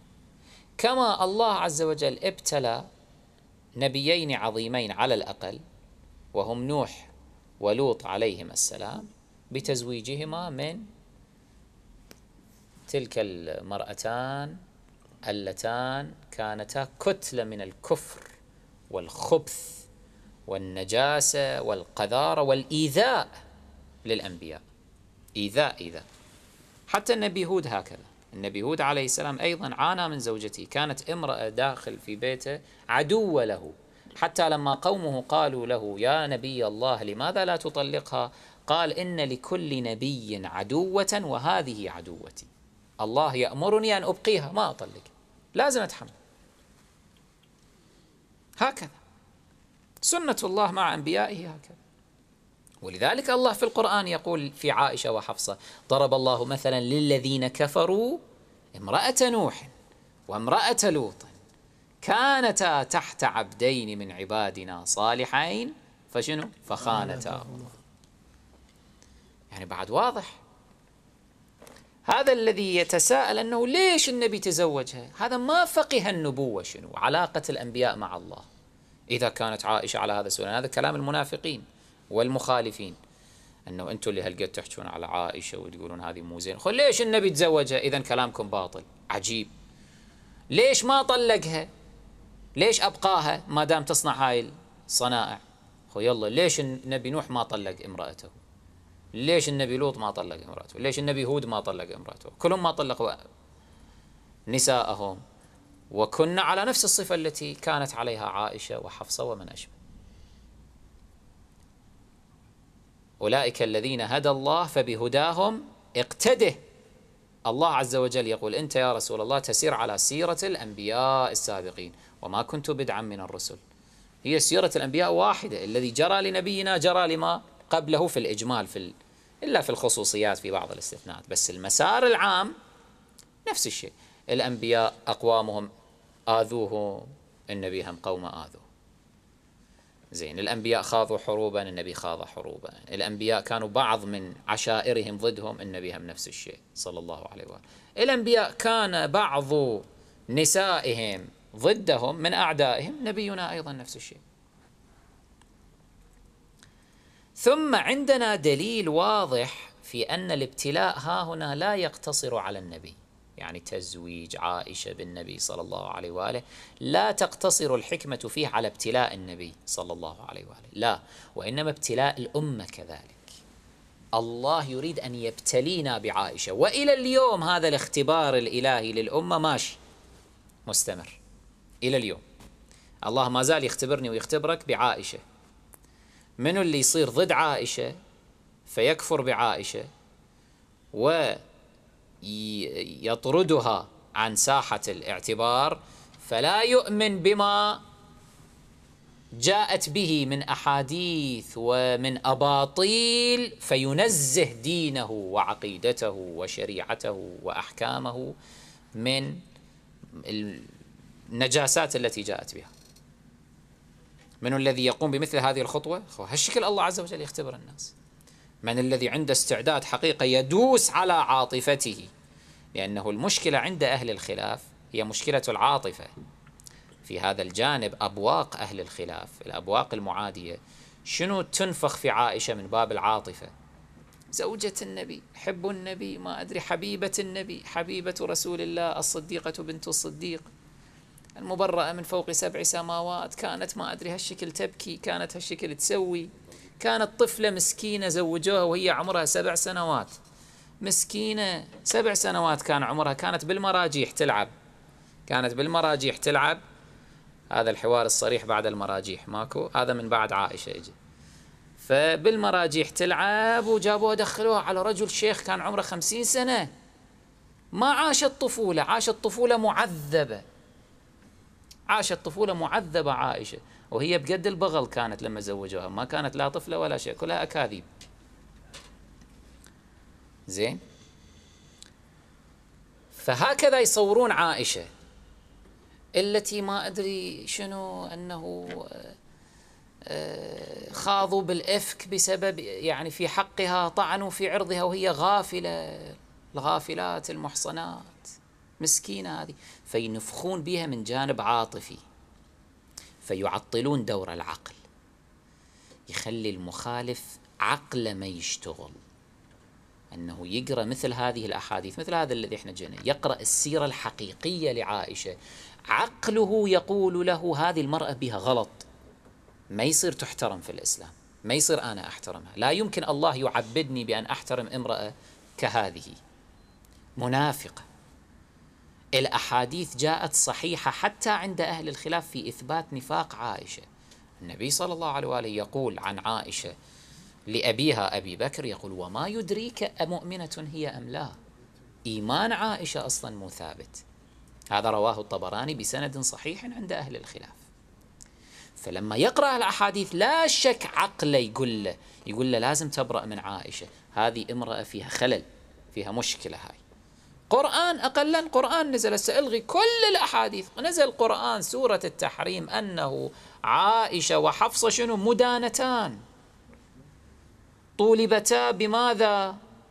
بالتوبة. ولم ينزل قرآن بعد ذلك يثبت توبتهما بل ولا عندنا حديث يثبت توبتهما.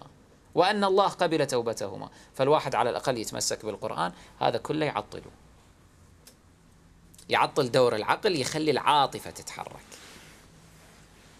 وهذه ترى المشكلة موجودة حتى عندنا في عالم التشيع. إلى الآن نفس المشكلة سبحان الله نحن لما نواجه رموز النفاق داخل التشيع أو رموز الانحراف البتريين وأتباع العرفان الباطل ومن أشبه مو هالشكل؟ نعرض دلائل. فبماذا نجابه؟ أن تلاحظوا نحن لغة العقل نستخدمها لغة الدليل. لغة البرهان. لغة إخضاع هذه الشخصية للقرآن لأحاديث أهل البيت عليهم السلام للأحكام الشرعية للمبادئ الدينية. مو هالشكل؟ الطرف المقابل يستخدم أي لغة؟ يستخدم لغة العاطفة في الرد. يعني إحنا ضد خامنئي. نقدم الدلائل. على أنه رجل منحرف العقيدة، على أنه ظالم، على أنه كذا، الطرف الآخر لما يرد علينا كيف يرد؟ يفند هذه الدلائل؟ كلا، وإنما يستخدم نفس اللغة البكرية، لغة العاطفة. شنو يقول؟ يقول مراجعنا خط أحمر. مثل ماذا يقول صحابتنا خط أحمر. يقول ولي أمر المسلمين المقاوم البطل ضد أمريكا وضد إسرائيل خويابه مو مشكلة إحنا هم ضد أمريكا وضد إسرائيل ما يسمى يعني إسرائيل. ولكن الدليل أين؟ لغة العقل أين هي؟ لغة العاطفة تأتي. نجابه بلغة العاطفة. هذا هو الاختبار. أنت الآن بين اثنين بين أن تمشي وراء العقل أو تمشي وراء العاطفة. إحنا في عائشة نختبر إلى اليوم. وهذا الاختبار منصوص عليه في أحاديثنا وأحاديث أهل الخلاف على السواء. على السواء. لما قيل لعمار بن ياسر أنه كيف أنت تحارب عائشة في معركة الجمل قال أمكم ابتلاكم الله بها ليعلم أيهما تطيعون. إياه أم هي؟ هذه هي علة تزويج عائشة برسول الله صلى الله عليه وآله. الله يريد أن يعرف. الله زوجها من من النبي صلى الله عليه وآله لأنه يعلم أن هاي المرأة الخبيثة ستتمرد فيما بعد على وصية الشرعي وستحدث معركة طاحنة بين الطرفين تخلف ثلاثين ألف قتيل. 25 ألف قتيل أقل التقديرات عند المؤرخين 15 ألف قتيل أقل, أقل تقديرات. هاي الدماء كلها راحت. الله أراد أن يختبر الأمة ليعلم أيهما تطيعون. الله أم هي؟ يعني الله تطيعه أم تطيع عائشة؟ يعني عائشة في طرف الله لو في طرف الشيطان في طرف الشيطان وإلا ما يصير مقابلة بين الطرفين. الله أم هي؟ يقول عمار. وتعلم ذلك من أمير المؤمنين عليه السلام الذي نطق بمثل هذه الكلمة لما سئل كما في أحاديثنا. راجعوا كتاب سليم بن قيس الهلالي. رضوان الله تعالى عليه. فالاختبار الإلهي لكل هذه الأطراف للنبي صلى الله عليه وآله أنه كيف يصبر؟ لعائشة الله أيضا يختبرها بأنه أنت أعطيت فرصة عظيمة بأن زوجتك خير الخلق. حتى تستصلحين نفسك. ما استصلحتي فالحجة أقيمت عليك. لله الحجة البالغة. والاختبار الثالث والمهم والذي ما زال مستمرا إلى يومنا هذا اختبار الأمة. الأمة محاسبة أمام الله تعالى. سيحاسب الله عز وجل كل مسلم ومسلمة يوم القيامة. أنه هل برئت من عائشة أم والعياذ بالله واليت عائشة؟ هل برئت من عائشة؟ فتمسكت بالأئمة الشرعيين من أهل بيت رسول الله صلوات الله عليهم وجعلت دينك متوافقا مع أحكامهم وفقههم و آه، آه، وصاياهم أم لا أبقيت عائشة محترمة عندك فمضيت على منهاجها فعملت بفقهها. إن سميناه فقها. وفتاواها الشيطانية. ودخلت رجال على مرتك وقلت لها إنه رضعيهم.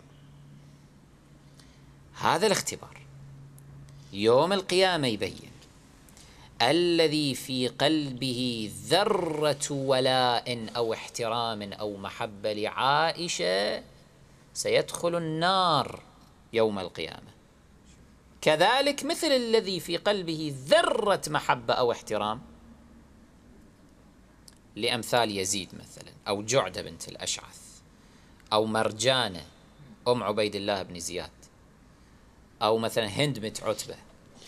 أو أي شخصية من شخصيات النفاق والضلال والإجرام.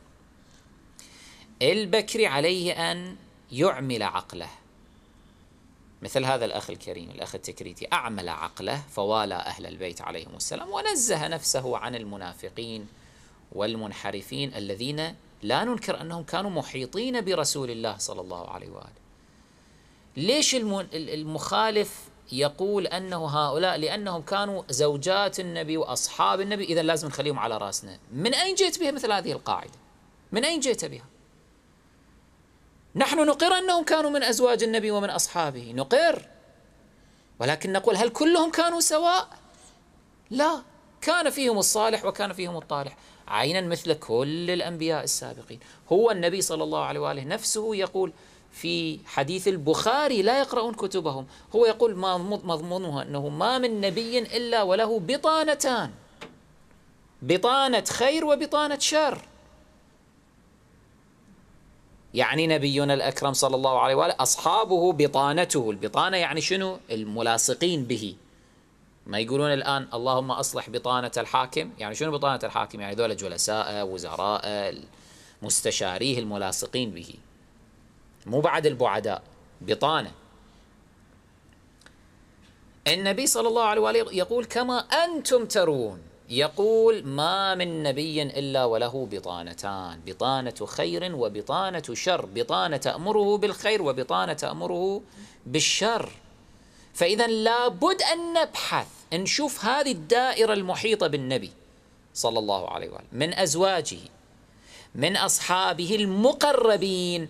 من منهم كان من بطانة الخير؟ من منهم؟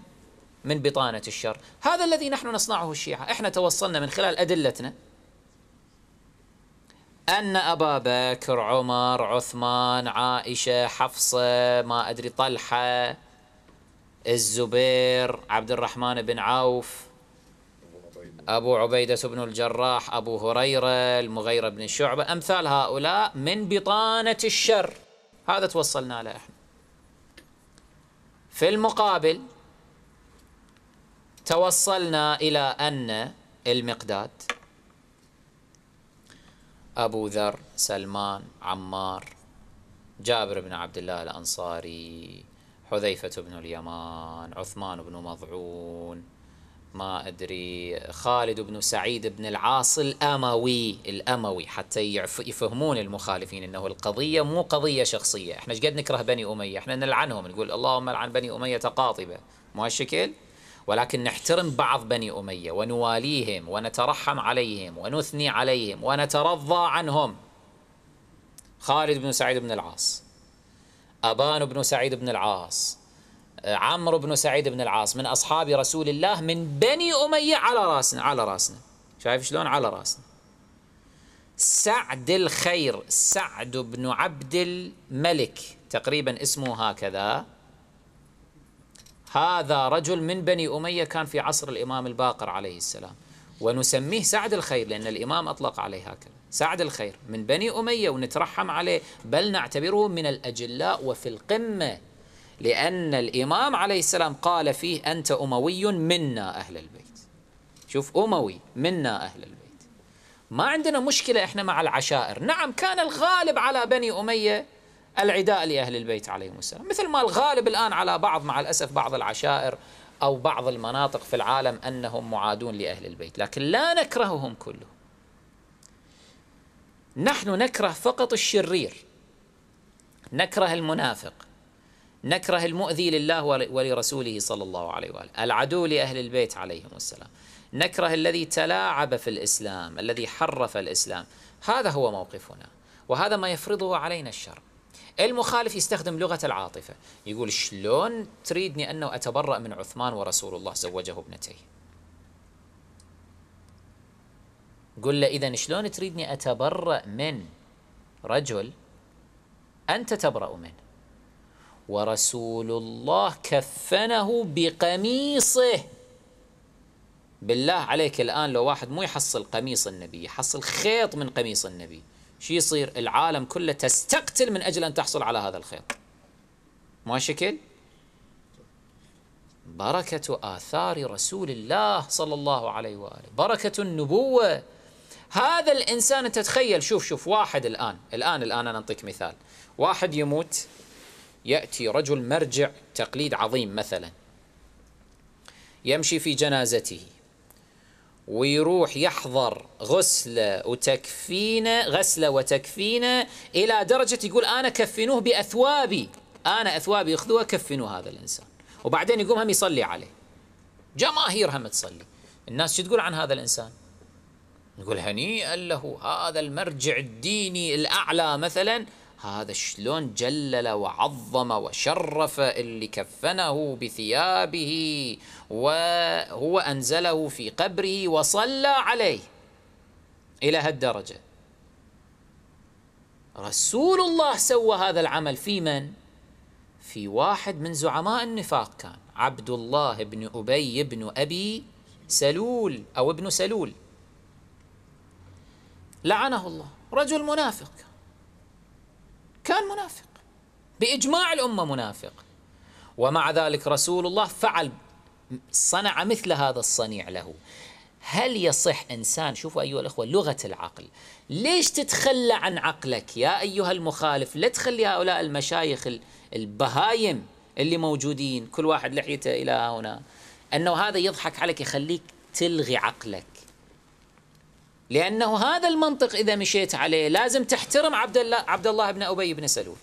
لازم تحترم. لازم تحترم. لأنه هذا الأمر يعني واضح عليه إجماع أنه الرسول صلى الله عليه وآله قال هكذا. حتى إذا قلت نزلت آيات فيما بعد ذلك نقول لك الآيات مو صريحة فلتؤول. مثل ما الآن يسوون معانا. نقول لك آيات مو صريحة نأولها. تقول له يا عمي القرآن نزل في عائشة وحفصة يقول لك نأول. القرآن نزل في ذمهما يأول القرآن نزل في بني أمية يأول القرآن نزل في أبي بكر وعمر في الذم في الذم يأول القرآن نزل في الوليد بن عقبة الفاسق يأول باب التأويل هم مفتوح. شنو هو؟ بس آه، عبد الله بن أبي بن سلول راس أبو أقرع ما يصير واحد يأول الآيات اللي نزلت في ذمة يعني؟ بس هو البقية كلهم مسموح. بقية المنافقين أبو بكر وعمر وعثمان وعائشة وحفصة جماعة شلة المنافقين هؤلاء. كلهم لازم تؤول الأحاديث والآيات التي تذمهم حتى يطلعون لهم بأي طريقة منقبة وفضيلة. لا أشبع الله بطن هذا. معاوية سووها منقبة. يأولون يأولون. بس عبد الله بن أبي هذا المسكين هذا ما له حق يعني؟ هذا هم من الأصحاب. رضي الله عنهم وأرضاهم. هذا من المبايعين تحت الشجرة. ولكم يا كفرة شلون تتكلمون على واحد من الذين بايعوا تحت الشجرة؟ مو هو يقول لك إنه أنت ليش تحكي على أبي بكر وعمر؟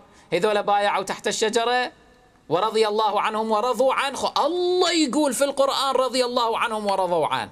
خو عبد الله بن أبي أيضا كان من المبايعين تحت الشجرة. فطبق الآية عليه. رضي الله عنه وأرضاه. رضي الله عنه وأرضاه. حلوة بعد تصير. سيدنا عبد الله بن أبي بن سلول رضي الله عنه وأرضاه. يعني شوفوا المشكلة هي هذه. نريد من أهل الخلاف شوية تحريك للعقل. هي أنا أنصحهم مرة أخرى. عطلوا العاطفة شوية أخذ العاطفة كلها كل هذا الكلام والبكاء والنياحة على عائشة وأبي بكر وعمر وما أدري شنو. كله أخذه خليه بالفريزر شوية. شوية خليه هناك. وانظر للأدلة بتجرد اعضرضها على العقل. تصل للذي توصلنا إليه. سمعت شيخ قبل لا ندخل على سؤال الأخت الثاني اللي يقول عن زيد بن علي سلام الله على على علي بن الحسين سلام الله عليه آه الأخ أبو ياسر والأخت أم أحمد سألوا أو نفس الكلمة قالوها إن أول مرة نسمع هذه الأحاديث أول مرة نسمع هذه الأحاديث. فنبيك ترد على الإخوان يمكن هذا كلامهم ينطبق على يعني مئات أو آلاف المشاهدين اللي يقولون أول مرة نسمع الأحاديث. ممكن ترد عليهم على هذه الجزئية فقط. أي هو هذا الذي يجعلني أنا أختلف مع غيري ممن يعتمرون العمامات أو العمائم. هو هذا السبب يعني هذا هو الاختلاف المنهجي بيني وبينهم. أنا أؤمن أنه هذا العصر يحتاج إلى كشف الحقائق والواقع كما هو. ليش نستمر في المؤامرة التي استجهلت الأمة وأبقت الأمة في حالة جهل؟ ليش نخفي هذه الأحاديث وهذه الأدلة خوفا من أنها تثير بعض الزوابع؟ إيه هذا معناه أنه أنت تطمس الحق تستمر في طمس الحق وتستبقي الانحراف وتستبقي الباطل. أنا ضد هذا المنهج. أنا ضد هذا المنهج. أنا مع أنه الآن عهد التصريح وكشف الحقائق بسلاح العلم. خلي المخالف وغير المخالف من المتحالفين مع المخالفين من خونة التشيع. خلي يبهتوننا ويتهموننا على أنه هؤلاء سبابون. لأنه المشكلة هي هذه إحنا الآن بالله عليكم من أول بداية كلامي إلى الآن. كان كلامي سب وشتم ولعن وكذا وما أدري شنو لو كلام كان علمي. بس كلام شديد ما ما ننكر. كلام شديد ضد رمز من رموز النفاق وهو عائشة. نفخر بذلك. ما عندنا مشكلة. بس كلام إحنا قدمنا أوراق في إدانتها. مسألة واضحة. الطرف المناوئ شنو يقول؟ والطرف المتحالف مع المناوئ يعني خونة التشيع. هذول الذين لا يخافون الله عز وجل من بعض ذول المعممين شو يقولون؟ يقولون إيه هذول هذا هذا السباب اللعان الشتام هذا يشوه صورة أهل البيت أو سمعة مذهب أهل البيت على تعبيرهم لأنه بس ما عنده غير السب واللعن والشتم خلي يقولوا. بالنتيجة الذي يفرض نفسه هو هذا هذا الحق وهذه الحقائق. الناس تكتشف. وتعرف الحق وتكتشف لأول مرة. وهذه كلمة مئات المرات أنا سمعتها من الإخوة. مو الآن من أيام الكويت. أتذكر المجلس الأسبوعي في الكويت الذي بدأ بأفراد يحضرون ما يتجاوز عددهم العشرة. عدد اليد يعني عدد أصابع اليد. دائما بعد كل انتهاء كل مجلس كان يقولوا لي أنه حقيقة هذا أول مرة إحنا نسمع. وهذا هو الواقع. أنا أريد هذا اللي أول مرة ينسمع ينسمع. خلي ينسمع. خلي الناس تسمع خلي الناس تعرف الحقيقة. إلى متى نضحك على الناس؟ إلى متى نغطي على المنافقين والظلمة إلى متى إحنا جبناء؟ إلى متى؟ الغير يصعدون منابر بس لسانهم طويل على معاوية ويزيد. أكو أفراد أكثر سوءا وظلما وكفرا ونفاقا من معاوية ويزيد بمراحل. بمراحل. وين معاوية ويزيد؟ معاوية ويزيد بالقياس إلى أبي بكر وعمر وعائشة مثل قطره في بحر من الظلم والظلمات والنجاسات. أصلا يطلعون يمهم ملائكة. ملائكة يطلعون. لو واحد حقيقة يتعمق في التاريخ يتعمق في الأدلة يتعمق في روايات أهل البيت عليهم الصلاة والسلام. الذي أنا أقوم به أيها الإخوة مو تكثير عدد. يعني كان يسعني أنه أخطط لنفسي منهجا ما يؤدي إلى صراعات ومشاكل وما ما يؤدي إلى وجع رأس ومحاربات وتهديدات بالاغتيال ومليون مصيبة ومليون أذية. بأن أجعل هكذا أخطط لنفسي منهجا أنه أكرر ما يقوله غيري. خلص هو هذا اللي يقولون البقية. أنا هم أكرره أصعد صلى الله عليك. وأختم شنو؟ أما يجيب المضطر وكان الله غفورا رحيما وتحصل يعني أيضا ما تريد. وما حد هم يحكي عليك. تكف عن نفسك الغيبة والبهتان والافتراء. كان بالإمكان ولكن ليس منهجنا أنه إحنا بس نكثر عدد. مو هذا منهجنا. منهجنا منهج نوعي كيفي. نحاول أن ننظر أين يوجد النقص نكمل هذا النقص. أكو عندنا نقص حقيقي في الدعوة الشيعية في الدعوة الإسلامية في جانب البراءة في إظهار البراءة في إظهار هذه الحقائق في كشف هذه الملابسات كشف هذه الأمور.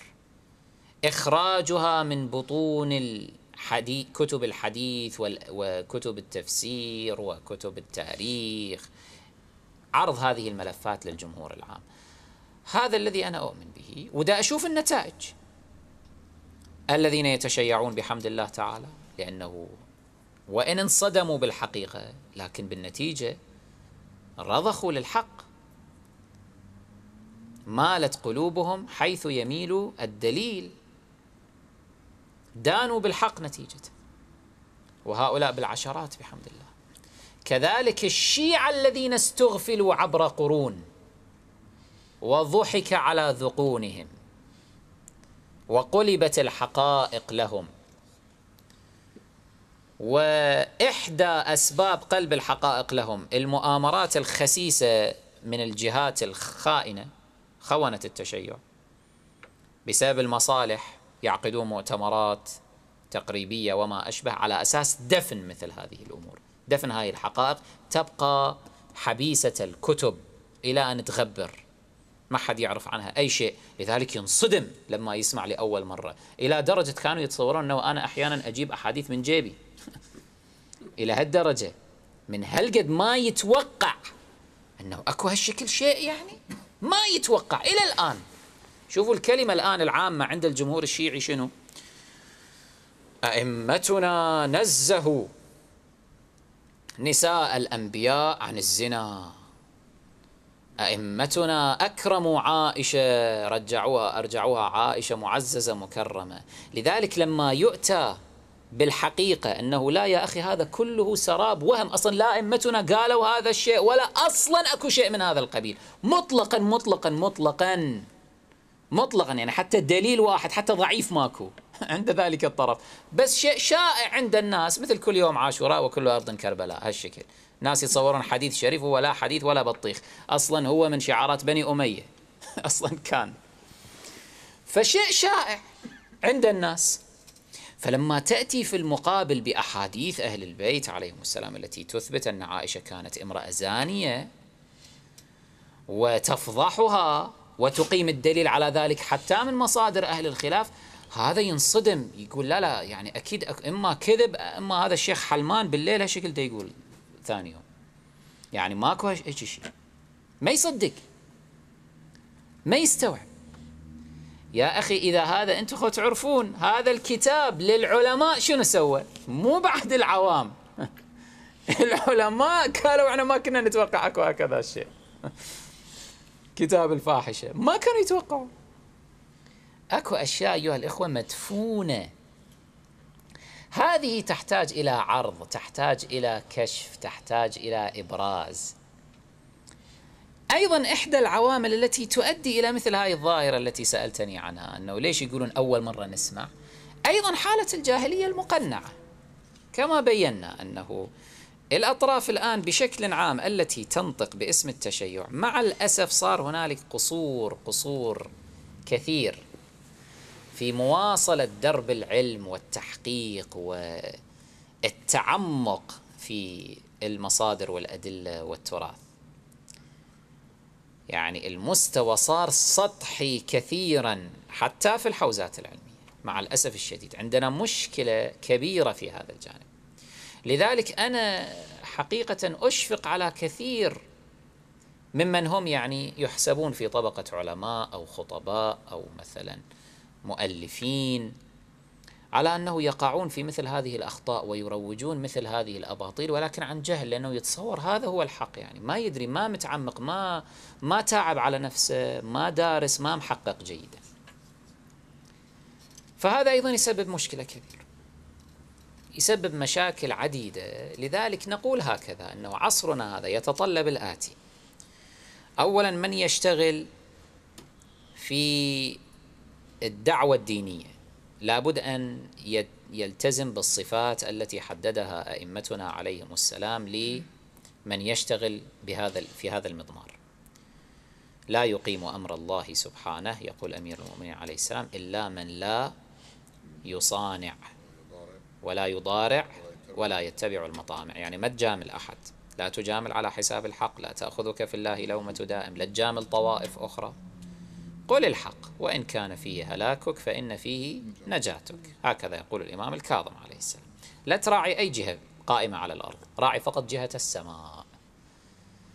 كن حرا. تسقف فقط بسقف السماء. لا تخلي سقفك هو القوانين الأرضية أو الأعراف السائدة أو قواعد تفرضها عليك الطوائف الأخرى. ليش تخضع للطائفة البكرية؟ تمشي على حسب ما هم يريدون منك.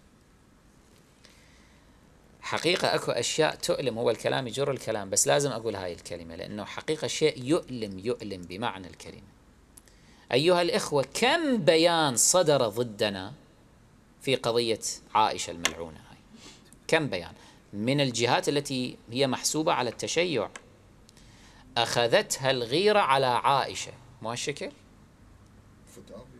مع أنه عائشة على أقل تقدير. شوف إيش قد نتنازل. يعني اترك أنها قتلت رسول الله بالسم. اترك أنها خرجت على أمير المؤمنين عليه السلام. اترك أنها آذت الزهراء حتى أبكتها. أظهرت السرور يوم شهادة الزهراء عليه السلام. سجدت شكرا لله عز وجل يوم شهادة أمير المؤمنين. ضربت جنازة الإمام الحسن بالسهام. تلاعبت بالإسلام. حرفت كذبت فسقت فجرت. مليون مصيبة أكو بعائشة. مو هالشكل؟ اترك كل هذا على أقل تقدير. أقل تقدير. عائشة امرأة ماتت ميتة جاهلية. بس يعني تحشر مع أهل الجاهلية لأنه ما عرفت إمام زمانها. لما ماتت كانت مقرة بإمام زمانها؟ ما يقوله شيعي واحد. أنت اللي تقول أنا أمثل التشيع شكو ما اخذتك الغيرة على امرأة ماتت ميتة جاهلية تدافع عنها؟ شكو. لأنه واحد قال عائشة في النار واحتفل بموتها. خلي يحتفل بموتها. أنت شكو. يعني ليش تنبعث غيرتك؟ بيانات طويلة وعريضة. الله أكبر. أخرجونا من الملة أصلا. أخرجونا من الملة. لله قاموا بهذا؟ لا والله. شوفوا أنا قليل القسم بس على هذه أقسم لا والله مو لله. اللي يكون لي لله ما يسوي حتى لو رايه يخالفنا ما يسوي يقول أنا مو مطلوب مني أمام الله عز وجل أدافع عن عائشة؟ عدوة أهل البيت؟ عليهم الصلاة والسلام. ليش أدافع عنها؟ ما مجبور أنا. إنما عملوها لأجل ماذا؟ لأجل إرضاء أهل الخلاف. وإلا إذا صدق عندك غيرة قبل يمكن شهر شهرين أنا رأيت مقطع لواحد خطيب بكري بالكويت إمام مسجد. هكذا بالصوت والصورة رأيته بالإنترنت. قال أبو طالب عليه السلام. ناقل الكفر ليس بكافر. أبو طالب في النار رغما عن أنوف الرافضة. ويصيح على المنبر. أبو طالب في النار رغما عن أنوف الرافضة. بيان واحد ما صدر ضده. من ولا جهة من هذه الجهات التي تدعي أنها تنطق باسم التشيع. بيان واحد جيب أنا أتحداك. جيب لي الآن بيان واحد من هؤلاء الذين أصدروا بيانات ضدنا ظلما وعدوانا والله خصيمهم يوم القيامة. وسنحتكم. والله راح أجرجرهم واحد واحد من عمايهم أجرجرهم أمام رسول الله صلى الله عليه وآله. نحتكم يوم القيامة. لأنهم كذبوا علي كثيرا افتروا علي كثيرا حاولوا تسقيطي كثيرا بهتوني كثيرا وسكت كثيرا أيضا. يوم القيامة المخاصمة الكبرى هناك يوم القيامة نشوف شلون شنو يصير بهم أقول له يا رسول الله صلى الله عليه وآله يا أمير المؤمنين يا فاطمة الزهراء يا أئمة أهل البيت هؤلاء دافعوا عن عائشة. ووقفوا ضدنا وصفقوا للنواصب والمعادين بل وكتب بعضهم بكل حقارة. أنا قرأت هذا الشيء وكان من أكثر ما جرحني في تلك الفترة. بكل حقارة كتب أنه أنا أسأل الله أن يوفق وهابيا لقطف رأس ياسر الحبيب. حتى نخلص من هذا الرجل من هذه الفتنة. شوفوا شلون عنده استعداد. وقلت لكم أنا سابقا تذكرون في التعليقات كنت أقول لكم أنه لما يأتي ذلك اليوم إن شاء الله تعالى الذي يسفك فيه دمي وأمضي شهيدا إن شاء الله تعالى. الله يوفقني لذلك. ستفرح جهتان وطائفتان. أهل الخلاف سيفرحون هذا شيء واضح. وهؤلاء المدعين للتشيع ستجدونهم يفرحون ويوزعون الحلوى. عينا مثل ما حصل للعلامة البلاغي رضوان الله تعالى عليه. علام البلاغي منقول في أحواله أنه لما توفي أجراس الكنائس قرعت فرحا وابتهاجا لأنه كان قد فند الديانة النصرانية وأصابها في مقتل. كان عدوهم اللدود. وعدو الوهابية وعدو آخرين. أيضا الوهابية فرحوا بمقتله أو بوفاته رضوان الله تعالى عليه. فالشاهد هو هذا. هؤلاء هي مشكلتنا مع هؤلاء. ما تأخذهم الغيرة على أبي طالب عليه السلام. أبو طالب الذي هو سيد من سادات الإسلام. أبو طالب الذي الأئمة عليهم السلام يقولون أنه الأمم تحتاج شفاعته يوم القيامة. الأمم. أبو طالب شيخ المؤمنين. مؤمن قريش. والد أمير المؤمنين الوصي. عندنا في الروايات أنه كان من الأوصياء من أوصياء الأنبياء السابقين. رواية تقول من أوصياء عيسى عليه السلام رواية تقول من أوصياء إبراهيم عليه السلام. ما أخذتهم الغيرة على أبي طالب مع أنه شوف شوف الفرق الآن. هذا واحد قال أبو طالب في النار هذا واحد قال أبو هذا قال شنو؟ عائشة في النار. في المقابل شوف إيش قد بيانات صدرت ضد اللي قال عايشه في النار مع أنه ماكو شيعي ما يؤمن أنه عايشه في النار. المفروض هكذا يعني إلا إذا بعد طلعوا لنا تشيع آخر مثل ما هالزمان يعني بعد يطلعون كل واحد يطلع. زين ذاك أبو طالب ما أخذتكم الغيرة عليه. اذا القضية مو لله. هؤلاء جعلوا أنفسهم عبيدا لأهل الخلاف. لما أهل الخلاف يضجون يسوون لهم مشكلة وطربقة وما أدري شنو يروحون يطلعون بيانات حتى يرضونهم. مو مهم عنده يرضي الله. لا شك أن الله الجبار الجليل. رب السماوات والأرض. غضب حين نطق هذا البكري الخسيس. قائلا أبو طالب في النار. لا شك الله عز وجل غضب على هذه الكلمة. لا شك رسول الله غضب. لا شك أمير المؤمنين غضب. لا شك إمام الزمان غضب. صلوات الله عليهم أجمعين. فلماذا لم تغضبوا كما غضب الله ورسوله وأئمتكم؟ لماذا لم تغضبوا؟ لماذا لم تصدروا تلك البيانات؟ ماذا صنعتم؟ لماذا لم تقيموا تلك المؤتمرات؟ سووا لنا مؤتمرات في تلك الفترة. وفتاوى ومصايب ومليون مصيبة طلعوا ذلك الوقت. صاروا ملكيين أكثر من الملك حتى. يدافعون عن عائشة يعني ببسالة واستبسال. في حين أن الله عز وجل لم يغضب مما صنعنا. ما يقدر يقطع بذلك. فكيف من أما في قضية أبي طالب عليه السلام قطعا الله عز وجل غضب من هذه الكلمة؟ فمن منهم صنع مثل الذي صنع دفاعا عن عائشة؟ ويلكم أنتم شيعة عائشة مو شيعة علي عليه الصلاة والسلام. وإلا لبانت غيرتكم هناك. هذه الأمور تلك الأمور تمر مرور الكرام.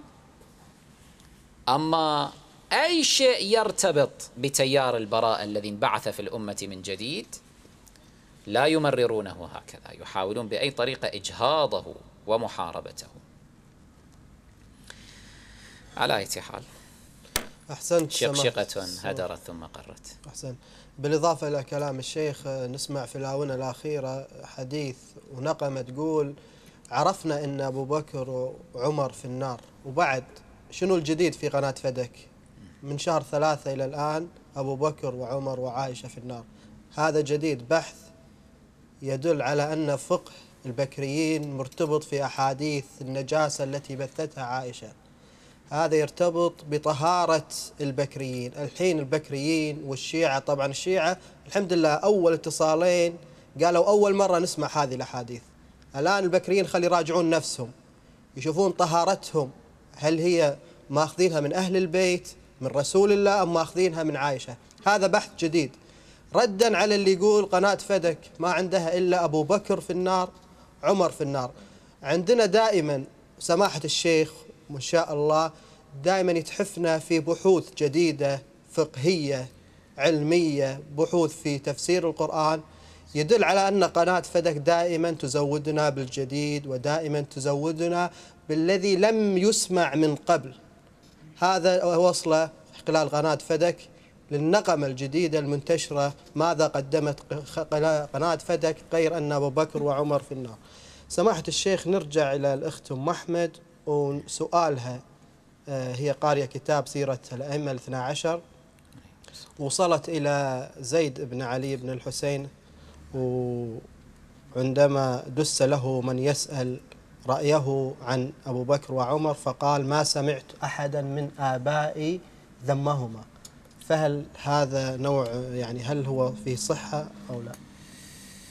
أولا آه، على الأخت المكرمة أن تلتفت إلى أن هاشم معروف الحسني لم يكن عالما محققا وإنما كان أقرب إلى كونه حاطب ليل.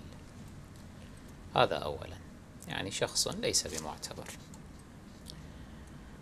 ويبدو هكذا أنه كان عنده بعض الالتباسات الكثيرة ولذلك أقول إنه كان حاطب ليل مو عالم يعني عالم بحق. فكتابه هذا وسائر كتبه الأخرى لا تخلو من غث وسمين. هذا الأمر الأول. الأمر الآخر هذه الرواية بالذات هي رواية جاءت من قبل الفرقة الزيدية.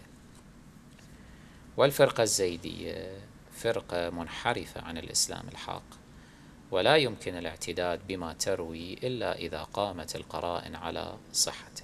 هذا من حيث القاعدة. ولكن لابد من التنبيه إلى هذا الأمر. هذه الشخصية وهي شخصية زيد مختلف فيها. عندنا نحن شيعة أهل البيت عليهم السلام. هنالك قسم من العلماء الرجاليين والمحققين يثنون عليه ويمدحونه. اعتمادا على بعض الروايات التي ظاهرها مدحه.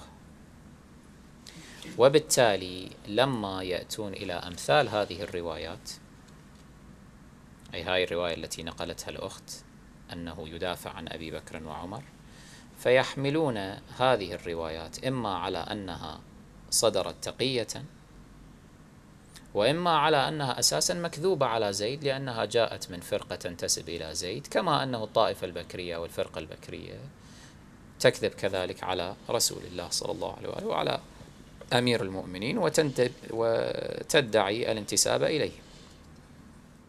فهذا القسم الأول. يعني القسم الأول يقول زيد هو على عقيدتنا وكان صالحا بناء على بعض الروايات المروية عندنا في أصولنا نحن يعني في الكافي الشريف مثلا. وبالتالي الروايات التي جاءتنا من الطوائف الأخرى ولتكن الزيدية وفيها دفاع هذا الرجل عن أبي بكر وعمر وقتلة أهل البيت مثلا هذه إما مكذوبة عليه أو صدرت منه تقية. وإلا في المقابل إحنا عندنا رواية أصلا حتى إحدى روايات البترية هي عن زيد. أنه جاءوا إليه وقالوا له آه، آه، أنتولى أبا بكر وعمر فقال بترتم أمرنا بتر الله أمركم. فسموا منذ يومئذ بالبترية. يعني عندهم مواقف مروية عندنا ضد أبي بكر وعمر. هذا واحد. هذا قسم. قسم آخر من العلماء الرجاليين المحققين يقولون بأن زيدا مذموم منحرف. أحد المنحرفين من أبناء الأئمة عليهم السلام وهم كثر كثير انحرفوا مثل ابن نوح انحرف أيضا لهم أدلتهم عندنا كذلك روايات عن أئمتنا عليهم السلام تذم زيدا وهؤلاء بالتالي يتعاملون مع تلك الروايات التي فيها أن زيدا مدح أبا بكر وعمر والتي جاءتنا من الغير يتعاملون معها تعاملا طبيعيا يقولون هذا غير مستبعد منا لماذا؟ لأن الرجل بالأصل شنو؟ مذموم. مذموم ومنحرف. وهذه إحدى علائم انحرافه فلا يردون تلك الروايات. القسم الثالث من العلماء. هذا يقول بالتوقف. يقول أن الأدلة في شأن هذه الشخصية متعارضة. فلا نستطيع أن نجزم مئة بالمئة أنه كان صالحا أم طالحا. أنا شخصيا من هذا القسم.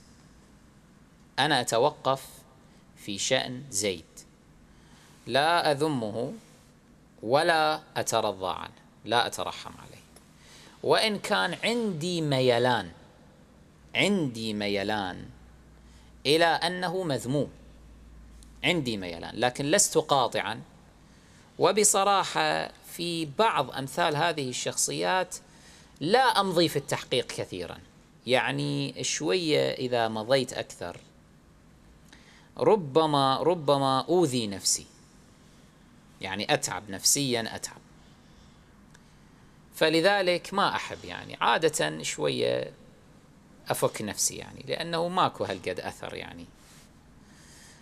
على أي حال فنقول هكذا نحن نقول بالتوقف. هذا كله كلام فلتجعله الأخت السائلة في ذهنها. أما مسألة الرافضة يعني الكلام هذا كله قلته حتى نفهم أنه في كل الأحوال لا اعتداد بكلام زيد المنسوب إليه هذا إما مكذوب عليه إما هو بالفعل صادر منه ولكن هو منحرف بالنتيجة وإما أنه صدر تقية أو شيء من هذا القبيل وفي شخصية فيها خلاف فيها خلاف.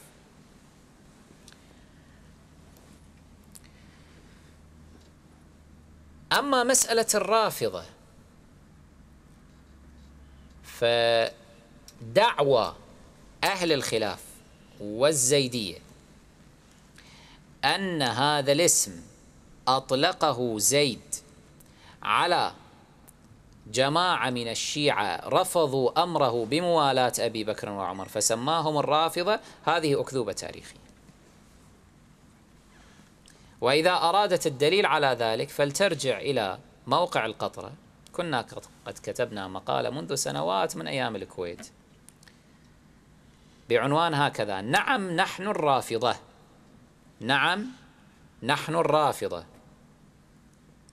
في هذه المقالة أثبتنا بالدلائل التاريخية أن اسم الرافضة كان سابقا حتى على ظهور زيد حتى قبل ولادته أيضا. اسم الرافضة. يعني في إحدى كتب معاوية لبعض عماله. شوف زمان معاوية كان. كتب اجتمع ما أدري أهل الحجاز. مع رافضة أهل الحجاز ومالوا إلى علي. شوف شوف رافضة سماهم من ذلك التاريخ. لا اسم الرافضة بناء على السياق التاريخي كان قبل أن الله يخلق زيدا أصلا.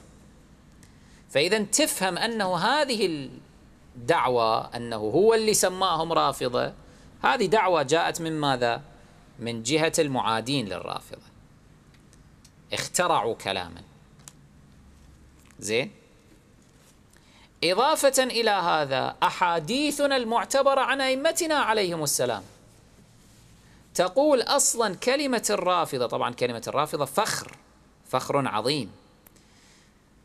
تقول أن اسم الرافضة أصلا هذا اسم كان منذ عهد موسى عليه السلام.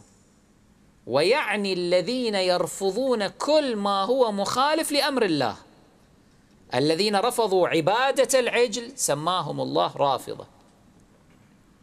فتسلسل هذا الاسم وبدأ يجري أو ينطبق على كل جماعة تتمسك بالدين الإلهي ضد الأديان الأرضية المخترعة. فالذين رفضوا عبادة الأصنام أو من بعد موسى منو كانوا؟ الذين رفضوا عبادة عيسى عليه السلام كانوا شنو؟ رافضة. سموا رافضة عند الله عز وجل وعند أنبيائهم. هؤلاء الرافضة. زين. الذين رفضوا عبادة النار رافضة.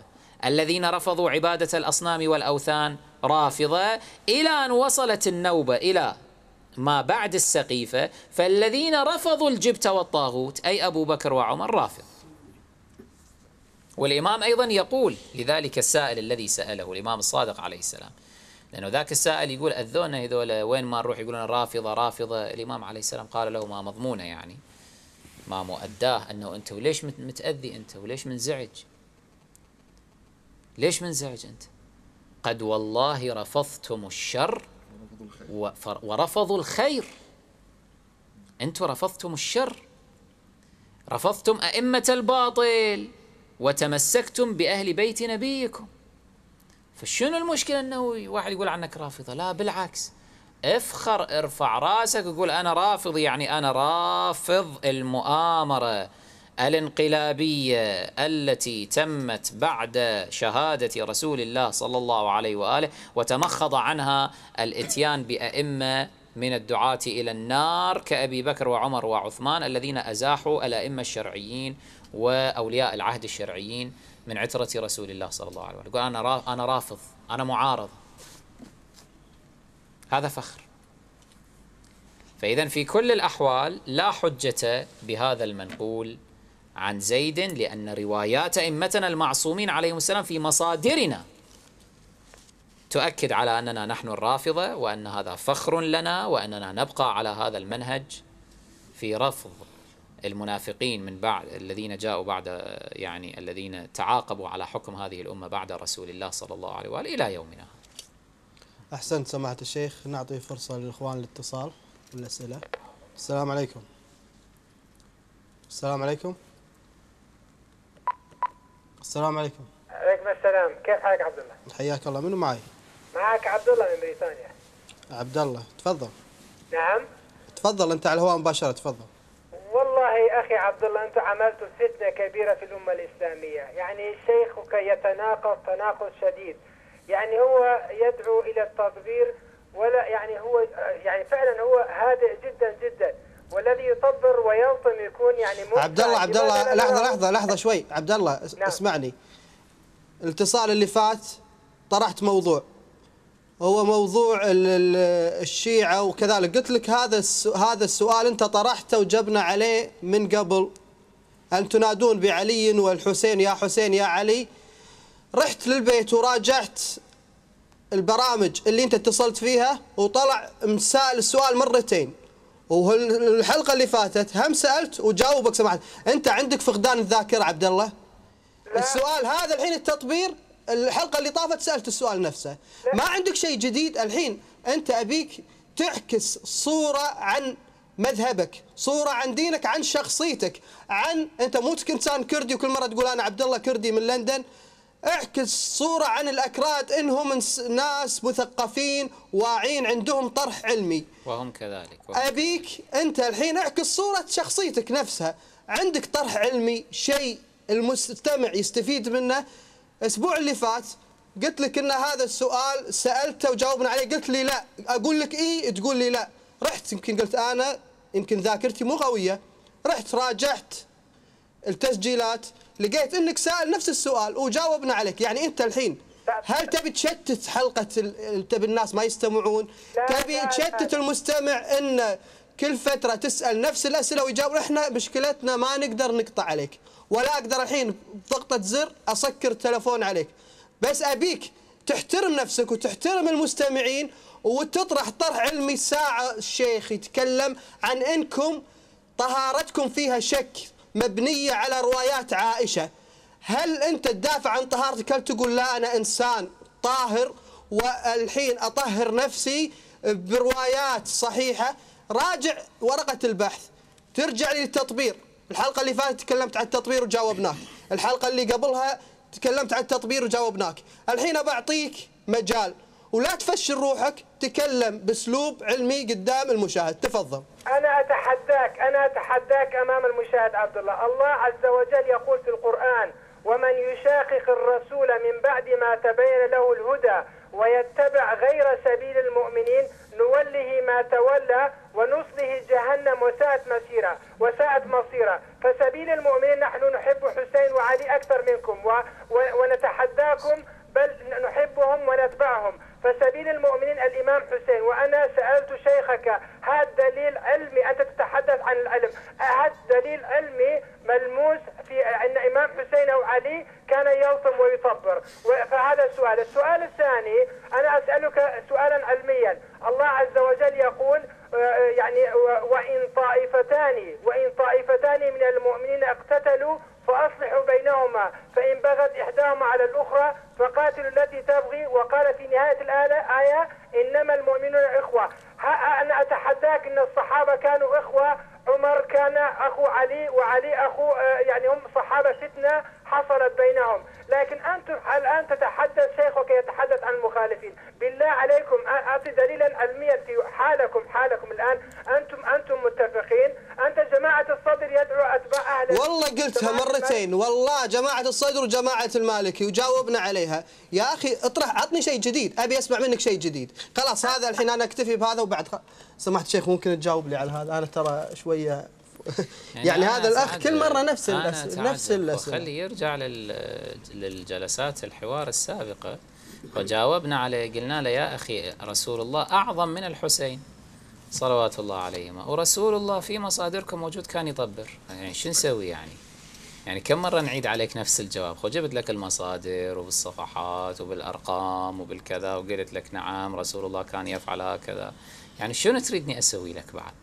هو بالفعل عنده مشكلة ذاكرة يبدو أو يحب يعني يكرر دائما نفس الكلام. فهذا شيء اللي ما بقيمة علمية خلي نتجاوزه رجاء. خلي نروح إلى ما هو أولى. نعم آه، ناخذ اتصالات من الإخوان السلام عليكم. السلام عليكم. وعليكم السلام. منو معي؟ نعم. منو معي؟ أنا أبو أحمد من سوريا. أبو أحمد من سوريا تفضل. بدي أحكي معك شيخ والله. آه، أنت على الهواء مباشرة تفضل. تفضل أخوي أبو أحمد. السلام عليكم. عليكم السلام ورحمة ورحمة الله. الله وبركاته الشيخ ياسر واخي أخي الكريم الشيخ ياسر والاستاذ عبد الله أهلا وسهلا بكم حياكم الله. شوي. يرفع عبد صوته الله لأنه من خلال أسمع من خلال احاديثه أو رده عندما بيخلص ال- الشيخ ياسر آه، جوابه لأي الأشخاص لأي السائلين آه، بيكون قال له بيكون جاوبه احسنت وكلمة احسنت تقال للطالب. الشيخ ياسر هو سي- سيد. أستغفر فلا تقال له أحسن يقال له عظم الله أجرك شكر الله سعيك بارك الله فيك. هذا تعقيب على والآن لدي مداخلة. أتمنى أن تستمعون إليها. تفضل. عندما نحب ونحترم ونجل أهل البيت الأئمة المعصومين عليهم السلام وأصحابهم. نحن لا وكأننا نقدم ميزة لهم والصفات التي نقولها لهم. لم تكن امتيازا لهم بل هي لصيقة وأصيلة. هي موجودة بوجودهم ومعدومة بعدمهم حاشاهم من العدم. لأنهم من الأزل هم معصومون هم من الأصل تحت مرتبة الإله وفوق مرتبة البشر. وكذلك بالنسبة لأعدائهم. فقضية الكفر والزندقة والفجور ليست مكتسبة فيهم بل هي أصيلة ولصيقة بهم. فعندما يقول أحد السائلين منكم أو الذين يحبون طائفتهم فيطلبون منا أو منكم عدم السب والشتم لأجل لفلان وفلان كمن يطلب عدم سب ولعن إبليس؟ لأنهم هم إبليس لعنه الله. أحسنت. ولعنهم الله. أطلب من الشيخ ياسر محاورة لبعض الأسئلة لأن الأخ عبد الله عندما يطرح عليه السؤال أو مجموعة أسئلة من أي سائل يكتب بعضها. فتصل للشيخ منقوصة فيجيب فيجيب وفق ما سجله الأخ عبد الله آه، وفق ما سجله الأخ عبد الله ولا يكون هذا الجواب للسائل هل من الممكن أن أتكلم مباشرة مع الشيخ ياسر؟ فيجيب أو محاورة حول الأسئلة التي تخطر في بالي؟ آه، أخوي أبو أحمد أنت الحين تتكلم من سوريا ونعرف أن المكالمة اللي آه، اللي تتصل منها والحساب يكون يعني غالي عليك أو تدفع رصيد على المكالمة هذه. لذلك إحنا نحاول نختصر نخليك تطرح سؤالك لأن تعرف سماحة الشيخ يطول في الإجابة ممكن ياخذ عشر دقائق ممكن ياخذ ربع ساعة. فلما أخليك على الخط آه، راح أنت تخسر. وإحنا ما نبي نخسر الناس. لذلك نسجل السؤال. إذا تكلمت آه، بعض الناس يتكلمون آه، بطريقة سريعة طبعا تفوتني كلمة أو كلمتين أحاول أختصر السؤال.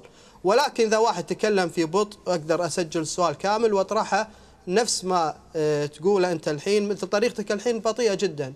أقدر أسجل السؤال واطرحه على سماحة الشيخ. إحنا ما نبي نكلفك. إذا أنت عندك إمكانيات إنك تظل على الخط وسماحة الشيخ يجاوب ما عندي مشكلة. تفضل. يا أخي عبد الله ما عندي مشكلة. أنا بموضوع المصر أنا عم بسأل فما عندي مشكلة بالتكلفة آه، مقابل الاستفادة اللي بدي أستفيدها من خلال السؤال اللي عم بطرحه للشيخ ياسر. تفضل. أنت مع الشيخ مع سماحة الشيخ على الهواء مباشرة وتسأل وخليك على الخط وتداخل معه. على تفضل راسي. شكرا لك. تفضلوا آه، ي- نعم طيب شكرا. أستاذ آه، شيخ شيخي الكريم عظم الله أجرك وشكر الله سعيك. أجورنا وأجور وابقاك الله لنا ذخرا لنا وللإسلام. بارك الله بكم جزاكم الله آل خير بارك شيخ الله ياسر بتسأل سؤال أنا بالنسبة للأنبياء ألم يكونوا هم مأمورون؟ هم معصومون بالأساس. فجميع ما أتوا به وما تكلموا به وما قاموا به هي اوامر من الله سبحانه وتعالى. فسيدنا نوح معروفا سيدنا إبراهيم عندما استعمل القدوم لكسر الأصنام.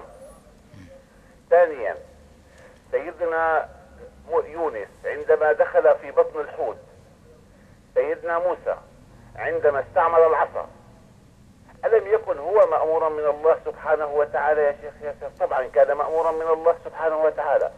فاستعمال سيدنا إبراهيم للقدوم ما ماذا أف- أفسر باستعماله القدوم؟ هل كان القدوم أكبر مرتبة من سيدنا إبراهيم لاستعماله القدوم؟ فالإمام علينا من ذكره السلام والرحمة عليه السلام قال لزكاء تعالي أو ردها عندما رد قال بالكلام وسيدنا محمد عليه السلام. صلى الله عليه وسلم. يتكلم والله يجيبه مباشرة. فلماذا لم لم يستطيع سيدنا إبراهيم أن يقول أن يستعمل القدوم فأنا أتصور أو أتمنى أن من الشيخ ياسر أن يجيبني. ما مرتبة القدوم التي استعملها سيدنا إبراهيم لتكسير الأصنام؟ وما مرتبة العصا التي استعملها سيدنا موسى عليه السلام حتى أتت بالسحر فالتقطت؟ ما كانوا ما, ما, ما صنعوا السحرة. وسيدنا يونس عندما دخل في بطن الحوت هل كان الحوت أكبر مرتبة من سيدنا يونس أم لا؟ وشكرا يا شيخ. حياكم الله بارك الله فيك. تبي تظل على الخط أخوي أبو أحمد؟ نخليك على الخط. خلاص أنا ببقى على الحق إيه والله إذا بتريد. أوكي خليك على الخط. يا أخانا الكريم لا يمكن بطبيعة الحال الالتزام باقي بأن باقي على الخط باقي على الخط أنا يا نعم نعم. آه، لا يمكن بحال من الأحوال الالتزام بأن مثل هذه الموجودات التي استعملها أنبياء الله أو المعصومون صلوات الله عليهم هم أرفع شأنا منهم. هذا أمر واضح البطلان. ولذا لا بد من التفكيك. لا بد أن نفكك أنه لما جرى استعمال كل شيء من هذه الأشياء أو لما عمد إلى مثل هذه الوسائل. وهذا يحتاج إلى تدقيق في آيات الكتاب العزيز من جهة والأحاديث التفسيرية من جهة أخرى مع شيء من التأمل والتدبر في السياق التاريخي. فمثلا يمكن أن يقال هكذا في شأن الخليل عليه الصلاة والسلام. أنه بعدما استنفد كل الوسائل في هداية قومه حتى أنه آه، كما نعلم آه، اتبع أسلوبا تمثيليا حين انتقل إلى قرية أخرى. وهنالك بعض الروايات تشير إلى أن هذا الأسلوب التمثيلي حين قال للشمس وللقمر وللنجم وما أشبه قال أنه هذا ربي هذا الأسلوب التمثيلي كما أنبأتنا بعض الروايات أو كما استظهر من بعض الآثار أنه كان قبل حدوث آه، مسألة يعني تكسير الأصنام وما ت- تابع ذلك من مضاعفات أو تبع ذلك من مضاعفات.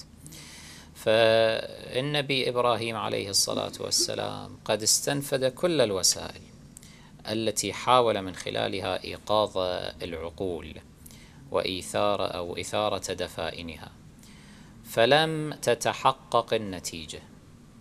ما تحققت تلك النتيجة المرجوة في نقل جمهرة من الناس إلى الإيمان؟ نعم تركت أثرا على قلائل ولكن كان المطلوب هو إحداث هزة جماهيرية حقيقية تشبه صعقة الإيقاظ التي آه، يعمد إليها بعض الأطباء بالنسبة إلى بعض المرضى.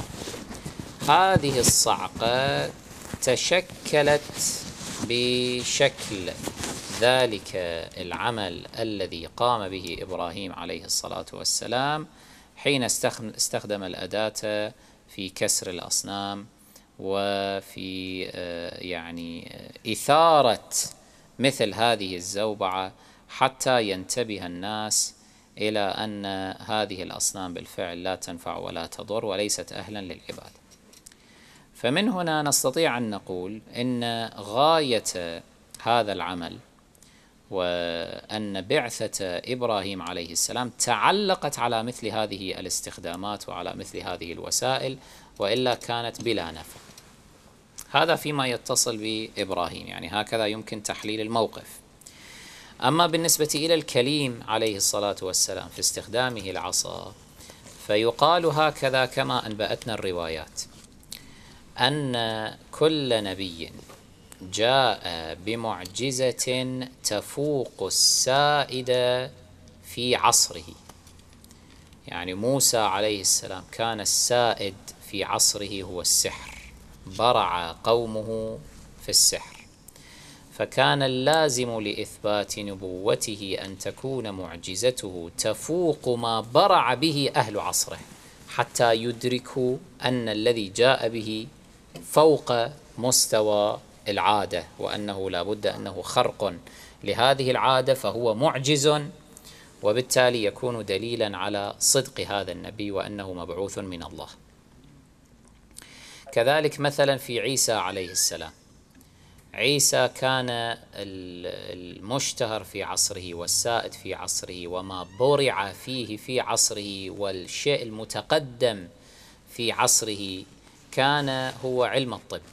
لذلك جاء عيسى عليه السلام بأمر يفوق ما توصل إليه وما برعوا فيه آه، أهل ذلك الزمان. ما برع فيه أهل ذلك الزمان كان علم الطب. لذلك حين أحيا الموتى مثلا وأبرأ الأكمه والأبرص كان أمرا واضح الإعجاز بالنسبة إليهم وشهد بذلك علماؤهم قبل عوامهم.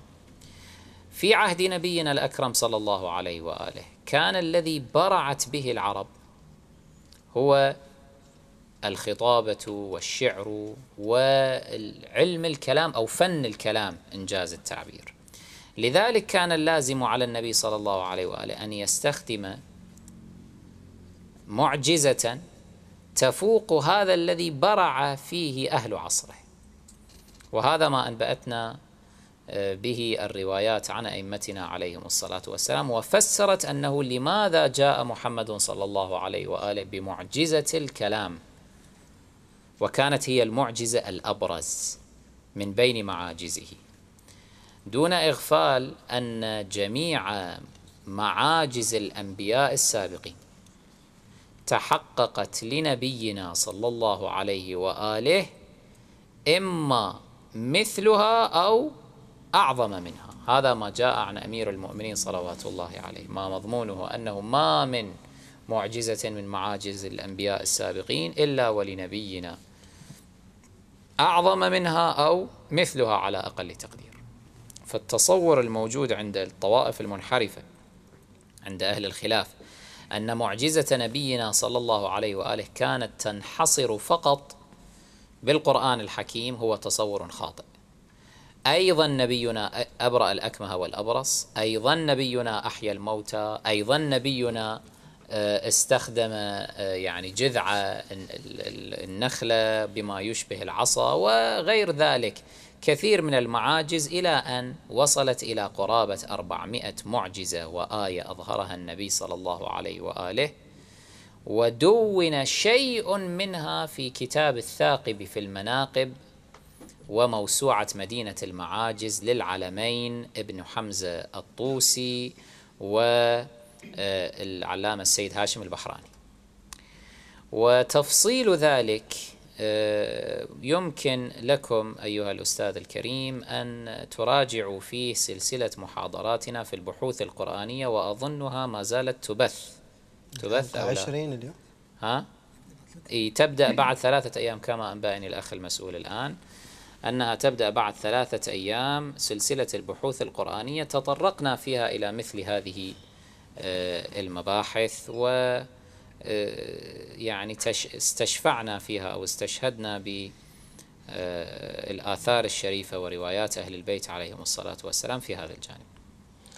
نعم الأخ أحمد أبو أحمد عندك مداخلة على السؤال؟ يا, يا أخي الكريم أنا ما ما عندي مشكلة. على رأسي جواب الشيخ ياسر لكن ولكن استخدامي أنا لشيء استخدامي لشيء معين يكون أقوى مني أنا مثلا مثل استخدام القدوم أنا مع احترامي وتقديري وتقديسي لكلام الشيخ ياسر ما عندي مشكلة بهالكلام ولكن استخدام فالقدوس صار أقوى مني أنا.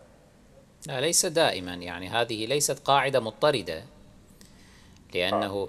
تعلمون أنه أحيانا الإنسان يستخدم ما يستطيع أن يكون هو لا شك أقوى منه. يعني أنت الآن تستخدم وسائل معينة لمجرد الراحة لمجرد يعني الاستراحة تستعملها وإلا أنت أقوى منها. وليكن هذا ال remote control الذي يستخدم الآن مثلا للتلفاز. أنت بإمكانك أنه تذهب بنفسك ويعني تغير ال channel أو تغير الشاشة مثلا. ولكن تستعمل ذلك للراحة. أيضا بإمكانك أن أن تأكل بنفسك لكن تستعمل يعني الملعقة والشوكة والسكينة وما أشبه لشيء من الراحة. ليس يعني شرطا هذه ليست قاعدة مضطردة. آه، الأنبياء عليهم السلام لما استعملوا مثل هذه الأمور أيضا علينا أن نفكك. استعمال إبراهيم عليه السلام كان لوسيلة كان لابد أن تستعمل على مجاري طبيعة ذلك تلك الأزمنة. وقد ورد في الروايات الشريفة ما مضمونه ومؤداه. أن الأنبياء والمعصومين عليهم الصلاة والسلام يستطيعون كانوا يستطيعون أن يجروا كل أعمالهم بإشارة من إصبع. يعني إلى هذه الدرجة لأن لهم الولاية التكوينية كما تعلمون. يعني يستطيع أنه هكذا هو لأنه وصل إلى مرتبة الله عز وجل أمر فيها جميع الخلائق بأن يطيعوه بما في ذلك الأحجار. يعني كان يستطيع إبراهيم عليه السلام أن يأمر الآن هذه الأصنام مباشرة بأن تفتتي وانكسري فتنكسر.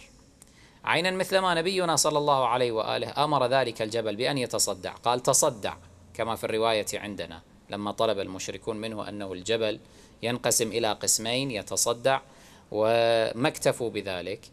قال أولا تصدع للجبل كان أمرا مباشرا له. تصدع الجبل انقسم إلى قسمين قالوا هذا لا نكتفي به اطلب أمر قسما من من الجبل أن يذهب إلى جهة والقسم الآخر يجري إلى جهة أخرى. فبالفعل هكذا أمر ذهب هذا في جانب وذاك في جانب آخر. ثم بعد ذلك قالوا أيضا لا نكتفي اطلب أو أمر بأن يرجع القسمان ويلتحمان من جديد إلى موضعهما السابق. وبالفعل طلب ذلك أو أمر ذلك في الواقع أمر بذلك. أحيانا كانت تقع الأمور هكذا. ولكن في أحيان أخرى كان لابد من استعمال الوسائل المعهودة في ذلك الزمان جريا على قاعدة أن الله عز وجل ليس في كل الأحيان يأذن لأنبيائه وأوليائه عليهم الصلاة والسلام باستخدام المعاجز. لأنه إن استعملت المعاجز بكثرة خرجت طبيعة هذا النبي أو الولي عن الطبيعة البشرية. وهذا فيه فساد عظيم. كيف؟ نحن إلى الآن نعاني من الذين أله عيسى عليه السلام. نحن إلى الآن نعاني من الذين أله أمير المؤمنين عليه السلام. مثلا إحدى أهم أسباب هذا التأليه هو ما ظهر منهم من المعاجز. العقل البشري مع الأسف عند كثير من الناس قاصر عن إدراك عن أن مثل هذه المعاجز يمكن أن أن تخرج على يد بشر فيؤله هذا البشر. ومن هنا هذا الذي يفسر إحجام كثير من أنبياء الله العظام والأئمة الطاهرين عليهم الصلاة والسلام عن استخدام المعاجز في مواقف حرجة. يعني كان بإمكانهم أن يقوموا بذلك ولكنهم يحجمون ويتوسلون بالوسائل الطبيعية المعهودة. يعني ما الذي كان يجعل عليا عليه الصلاة والسلام يذهب في فترة انقلاب سقيفة 25 سنة يذهب لكي يزرع ويحرث ويستعمل الفأس ويعرق ويفجر الآبار وما أشبه باستخدام قوته البدنية العادية وباستخدام فأسه العادي. ما هو السر في ذلك؟ في حين من جهة أخرى هو يأمر أمر واحد هكذا فجأة وإذا ب يعني معاوية آه، لعنه الله فجأة يسقط على عرشه ويري الناس ذلك ويقول هذا بيدي لو أردت أنا. فيقال له يا أمير المؤمنين أنت بيدك هكذا وتبقي معاوية ونضطر نحن للقتال ونضطر نحن لأن يعني نحارب كل هذه الأعمال نقوم بها. فأمير المؤمنين عليه السلام يجيبهم بأنه هكذا الله عز وجل أمر وهكذا الله عز وجل قرر ما مضمونه وأنه الله عز وجل يبتلينا ويبتليكم بمثل هذا.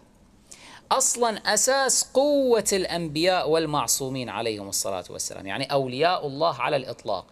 إحدى أسس قوتهم هو هذا أنه يكون قادرا على الشيء بالقوة الإعجازية لكنه يحجم عن ذلك بأمر من السماء فالله يختبره عز وجل في مثل هذه المواقف. عينا مثلما الآن جنابك أو أي شخص إنسان الآن.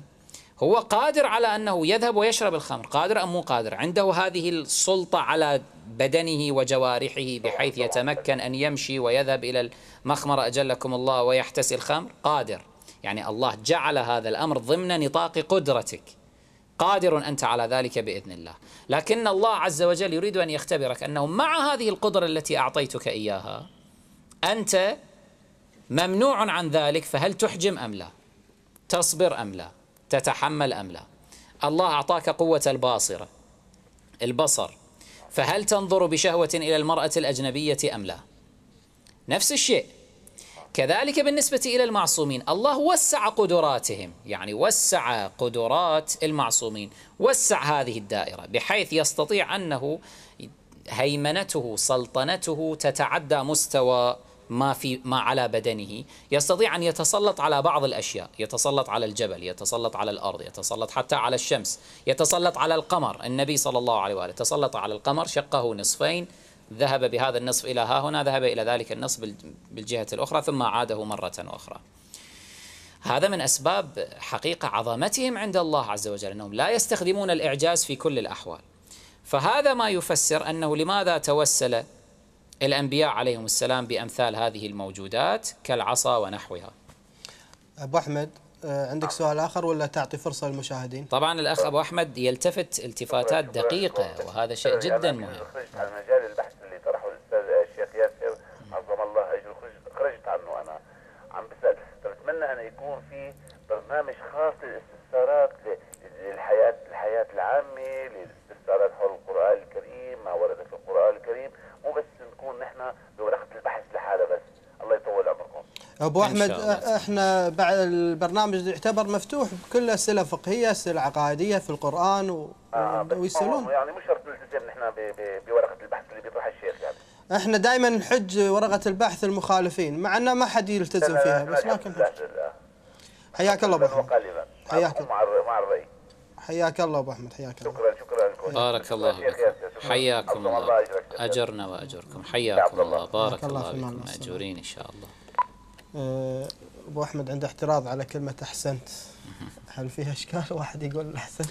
يعني هذا راجع إلى الثقافات. يعني ثقافة الإخوة السوريين الأكارم تقريبا هكذا أنه عادة يقال للطالب أو للتلميذ أو ما أشبه. ولكن في ثقافات أخرى يعني كلمة أحسنت دارجة على أي حال. لا مشاحة في مثل هذه الأمور في. الكلمات. السلام عليكم. ألو. السلام عليكم اخ عبد الله. وعليكم السلام. ورحمة الله. حياك الله. عليكم السلام ورحمة الله. هلا حياك الله. تفضل. أهلا وسهلا. أه، إذا ممكن أرد على الأخ عبد الله اللي اتصل قبل شوية و- و- وتكلم عن التطبير وعن هل كان النبي صلى الله عليه وآله يطبر أجاوبه أقول له إي نعم. أقول له أه، صحيح البخاري. الحديث رقم 5374 ح- حدثني بشار حدثنا ابن أبي عدي عن هشام عن عكرمه عن ابن أبي عباس. فتح قوس أحتجم النبي صلى الله عليه وسلم حسب ما هم يروون. في رأسه وهو محرم من وجع كان به بماء يقال له لحية جمل. وقال محمد بن سواء أخبرنا هشام عن أكرمة عن ابن عباس أن رسول الله صلى الله عليه وسلم احتجم وهو محرم في رأسه من شقيقة كانت به. رقم الحديث 5000 أحسنت بشار. بارك الله فيك. أحسنت. أحسنت. طيب. موجود. أحسنت. عندك مداخلة بعد؟ في موقع الحديث الشريف موسوعة الحديث الشريف.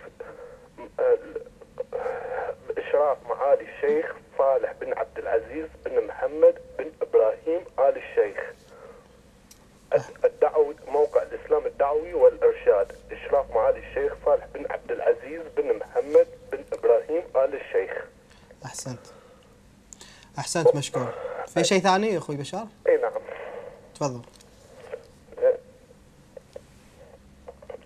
انه يعني هو ال- سماحة الشيخ يتكلم عن عائشة إذا هي عائشة سوت الكارثة الكبيرة يعني بعد ماكو داعي للكوارث الصغار هذه اللي يتكلم بها يعني أكو أكبر من كارثة إنه هي بيدها سم النبي وحتى عندهم حديث صحيح رقم 2937 حدثنا موسى بن إسماعيل حدثنا جويرية عن نافع عن عبد الله رضي الله عنه قال من النبي صلى الله عليه وسلم حسب رواياتهم خطيبا فأشار نحو مسكن عائشة فقال ها فقال هنا الفتنة ثلاثة من حيث يطلع قرن الشيطان احسنت أخوي بشار وطيب الله انفاسك احسنت آه آه، ناخذ فاصل مخرجنا ولا؟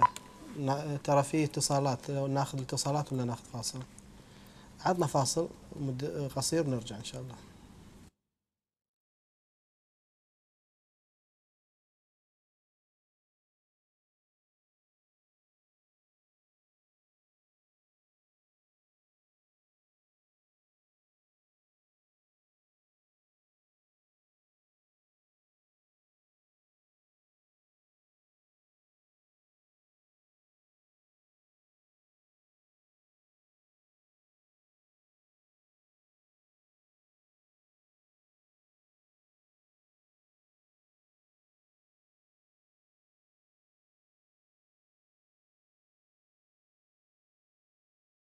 بسم الله الرحمن الرحيم والصلاة والسلام على أشرف الأنبياء والمرسلين سيدنا محمد. اللهم صل على محمد وآل محمد. وعجل فرجهم رحب فيكم أعزائي مشاهدي قناة فدك مرة أخرى مع برنامج البث المباشر.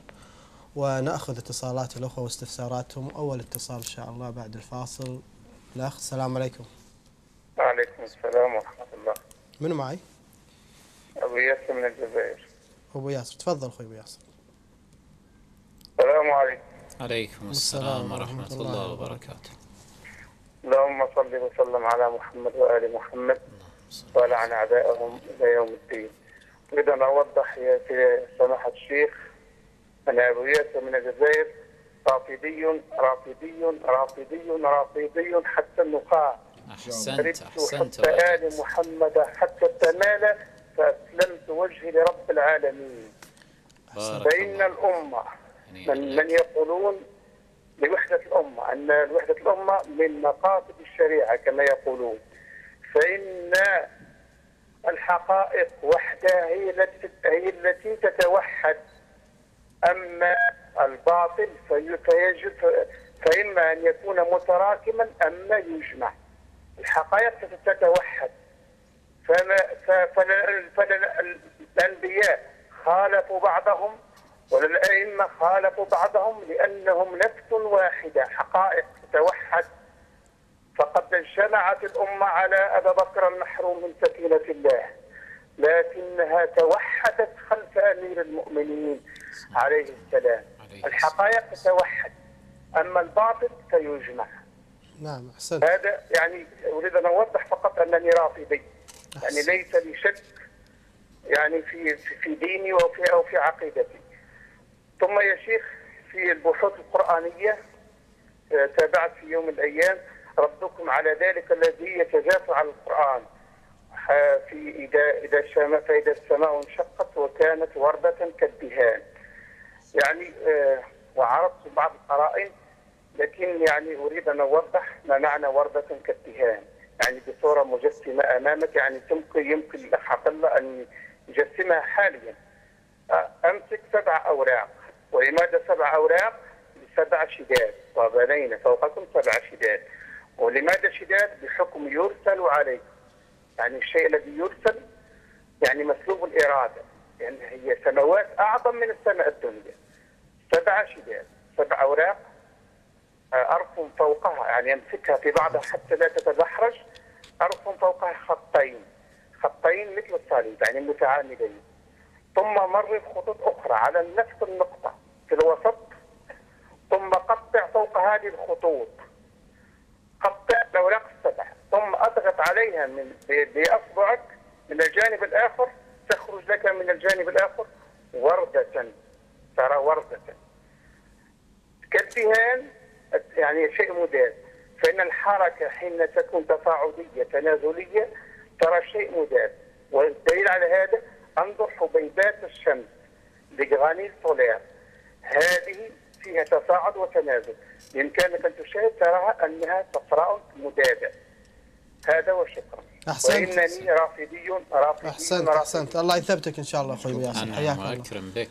ال- الظاهر الأخ أبو ياسر هو كيميائي أتوقع لأن كلك آه، طبيب وكيميائي وعالم يعني رجل ما شاء الله. أحسنت. آه، السلام عليكم. السلام عليكم. وعليكم السلام ورحمة الله. منو معي؟ أبو يعقوب من لندن. تفضل أبو يعقوب. بسم الله الرحمن الرحيم. الحمد لله رب العالمين. والصلاة والسلام على أشرف الأنبياء والمرسلين محمد وآله الطيبين الطاهرين. اللهم صل على محمد وآل محمد واللعن الدائم على أعدائهم ومخالفيهم أجمعين من الأولين والآخرين. اللهم لعن أبو بكر وعمر وعثمان ومعاوية ويزيد وعائشة.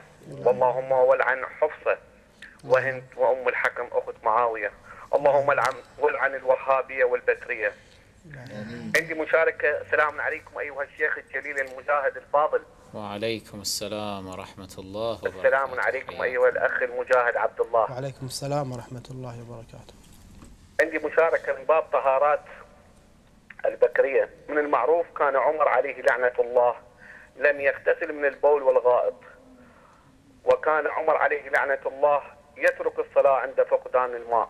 وهذا طبعا من مصادرهم البكرية. فسؤالي أيها الشيخ الجليل هل من الصحيح عند المسلمين إذا فقد الماء وجب ترك الصلاة؟ السؤال الثاني وهل من الصحيح عند أن عدم الاغتسال من البول والغائط يبقى الإنسان طاهر؟ جزاكم الله خير الجزاء. والسلام عليكم ورحمة الله وبركاته. حياك الله. ومداخلتي الأخيرة السلام. هو أدعي أدعو إخواني المؤمنين المسلمين الشيعة في كافة أنحاء العالم في التبرع إلى هذه القناة الطاهرة التي تدعو إلى الحق لصوت محمدا وعلى محمد. اللهم صل على والسلام عليكم ورحمة الله وبركاته. السلام ورحمة الله وبركاته. الله يحيي الأصوات الرافضية. والله يكثرها إن شاء الله. آه ناخذ اتصال. السلام عليكم. السلام عليكم. السلام عليكم. ألو. السلام عليكم من معي؟ السلام عليكم اخ عبد الله. وعليكم السلام منو معي؟ أبو حيدر من كربلاء. أبو حيدر من كربلاء حياك الله. تفضل أنت على الهواء مباشرة تفضل. سلامي لحضرتك وسماحة الشيخ وعليكم الحبيب. السلام وعليكم السلام ورحمة ورحمة الله الله وبركاته. أشكرك أشكرك اشكر الشيخ النقطة اللي طرق لها سماحه الشيخ بخصوص ال- الخطباء الشيعة. الخطيب قبل ما يصير خطيب هو أكيد ينتمي لحوزه معينة يدرس فيها ومن أكو توجه من أساتذته. فهاي الأساتذة لازم يكونوا موجهين لهم والمصادر اللي يدرسوها. فهنا بعض مع الاسف بعض الحوزات اللي تمنع أو تحجم الخطباء انه ما يطرقون المواضيع اللي تخص ظل السفل أبو بكر وعمر وعثمان وعائشة لعنهم الله. الشيء الأصلي إنه متعلم إنه دائما من آبائه وأجداده إنه دائما يلعنهم ظل اللي شرخوا الدين وشرخوا الخلافه واخذوا الخلافه من الأئمة عليه الصلاة والسلام. وهنا أكو بعض الأساتذة أو خلينا نسميهم المعتمدين أو العمداء الحوزات. يعني أنا من المقربين احد الجلسات قاعد أحد عمداء الحوزات مع الاسف اللي يقولها أنه هو يطرق خاصة قاعدة خاصه يقول ما نقدر نحكي كل شيء على الناس لأن الناس ما تتحمل. يعني ما يتحملون أكو احاديث ما يتحملوها. فإحنا نحاول نتجنبها. فهذا عدم التحمل اللي دا يطرق له بيت بمعارض أو مثل مآخذ يعني إذا يحكي على عائشة مثل ما يصد هذا البطل المجاهد العلم. أكيد راح تمنع عنا الحقوق والناس اللي تعطيه تروح تعطيه غير مراجع. فهذا اللي يدور أمور دنيوية. قاعد تنعكس على الخطباء اللي يوجههم يدرسهم يعلمهم. فهذا الخطيب ال- يكون مثل المحدد إنه يشوف العميد مال الحوزة مالته مدى يعلمه مدى يقويه مدى يفنده مدى يدعمه. مدى يعطيه قوة إنه فوت احكي لا تخاف من أحد. فلذلك هو همنا يقول سيدنا أو الخليفة الأول لعنة الله عليه. ما يقول لعنه الله عليه هو طبعا. يقول الخليفه الأول و... وعائشة ما يلعنها على المنبر مع العلم هو اللي يقعد بحرم الإمام الحسين ومقابيل الحسين سلام الله عليه. وما يتذكر إنه عائشه لعنة الله عليها. رمت 11 أخوه الحسن عليه الصلاة والسلام بالسهام هو يعرفها بداخل السخاف يحكيها فالحوزات دائما الحوزات دائما يعني دول المستفيدين اللي مع الأسف يكونون عميد لحوزه إنه يصدق. وهو بحكم اللي أصلا إنه يكون أشبه باللي مرجع لأنه ده بحث خارج ويدرس طلبه كبار فاكيد أكيد مرتبط بمرجع وهذا المرجع الله يطول عمر مرجعنا إن شاء الله وحفظه حتى على صحته إن شاء الله. إلهي. صادق الحسين الشاذ والله يطول عمره ويحفظ أولاده ويحفظ أولاد أخوه. يطول عمرهم إن شاء الله. إلهي. يحفظ لنا الاستاذ المجتبى. إلهي. هذول الخط ما أعتقد يقب- يقبلون على هاي العمداء اللي موجودين ويسمون بح- بحوزات. يعني هي اللي جاب لهم صدية وشايل علم. مثل ما سماحة الشيخ المبارك البطل. الله يطول عمره إن شاء الله. جزاكم وثق يا شيخنا. ثق بالثقه بح- بحق الحسين أرجو أنه تثق إنه يوميا أنا جو قبة الحسين إنه داعي له وداعي على راسي على راسي. جزاكم الله خير وداعي. الاخ عبد الله والكابر كله. بارك الله الله فيك. يشهد الله يشهد عليه. كل يوم وندعو من إخواننا المؤمنين المقاومين يدعو لكم بالصحة والعافية والعلو بعد إن شاء الله. يعني أبصار الباقين اللي قاعد يحرمون يحرمون ناس كثيرين.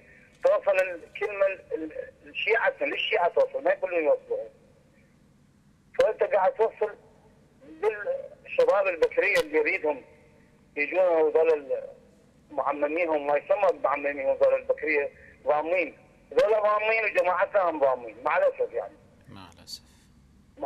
خطباء وكباريه ذول السفل البكرية ضامين ال- هالخفايا اللي قاعد تطلعها فضايح عايشة. وخطبائنا كذلك بواسطه إسناد أنا بدي أقول إسناد أساتذتهم ما يطلعون اللي عاد الشوكت يعني إلا بس أنت بس أنت وعلي الله يا اللي ياري اللي دي يحشون الشغلات دي يصدون يا أخي والله الجرح كبير يا شيخنا جرح كل كبير. ما أدري شو نسوي ساعدكم الله وسلم الله يعليك ويقويك إن شاء الله وينصركم. حياك الله أخوي محب مشكور أبو حيدر والله والديك. نشكرك على الدعاء. وكذلك. حياك الله. عبد الله. الله يحفظك. كذلك أنا فيكم إن شاء الله. أحسنت. بارك الله فيك. الله يحفظك إن شاء الله. الله يخليك. ان شاء الله بارك رحم الله والديك آه الحين سماحة الشيخ تع- تعلق شوية على الأخ أبو حيدر. لا لا أعلق. أحسن. لا أعلق. لأنه بالفعل جرح غائر وعميق. كيفك على راحتك و على أي حال هو بعد قال ما نريد أن نقول. إن شاء الله المستقبل يبشر بخير إن شاء الله. آه إذا نجاوب على أسئلة الأخ يعقوب من لندن. آه يقول هل صحيح إذا فقد الماء تركت الصلاة؟ هي طبعا لا. هذا خو يدل على مدى فقاهة عمر. وسبحان الله مع هذا الوضوح الذي يجده أهل الخلاف في مصادرهم أنه هذا الرجل كان جاهلا إلى أقصى حد إلى درجة أنه مثل هذا الحكم الواضح في القرآن الحكيم فإن لم تجدوا ماء فتيمموا صعيدا طيبا.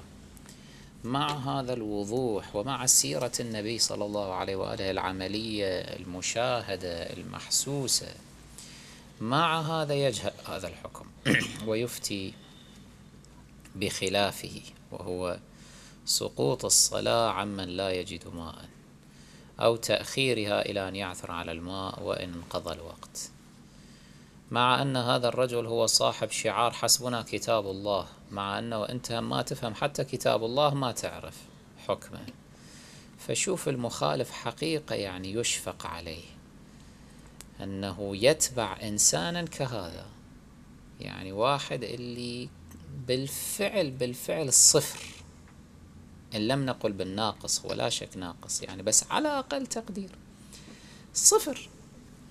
لذلك أنا كم مرة تطرقت إلى هذا الجانب في المحاضرات. قلت يا أهل الخلاف إحنا مثلا لما نتبع علي بن أبي طالب عليه عليهم الصلاة والسلام إلنا حق.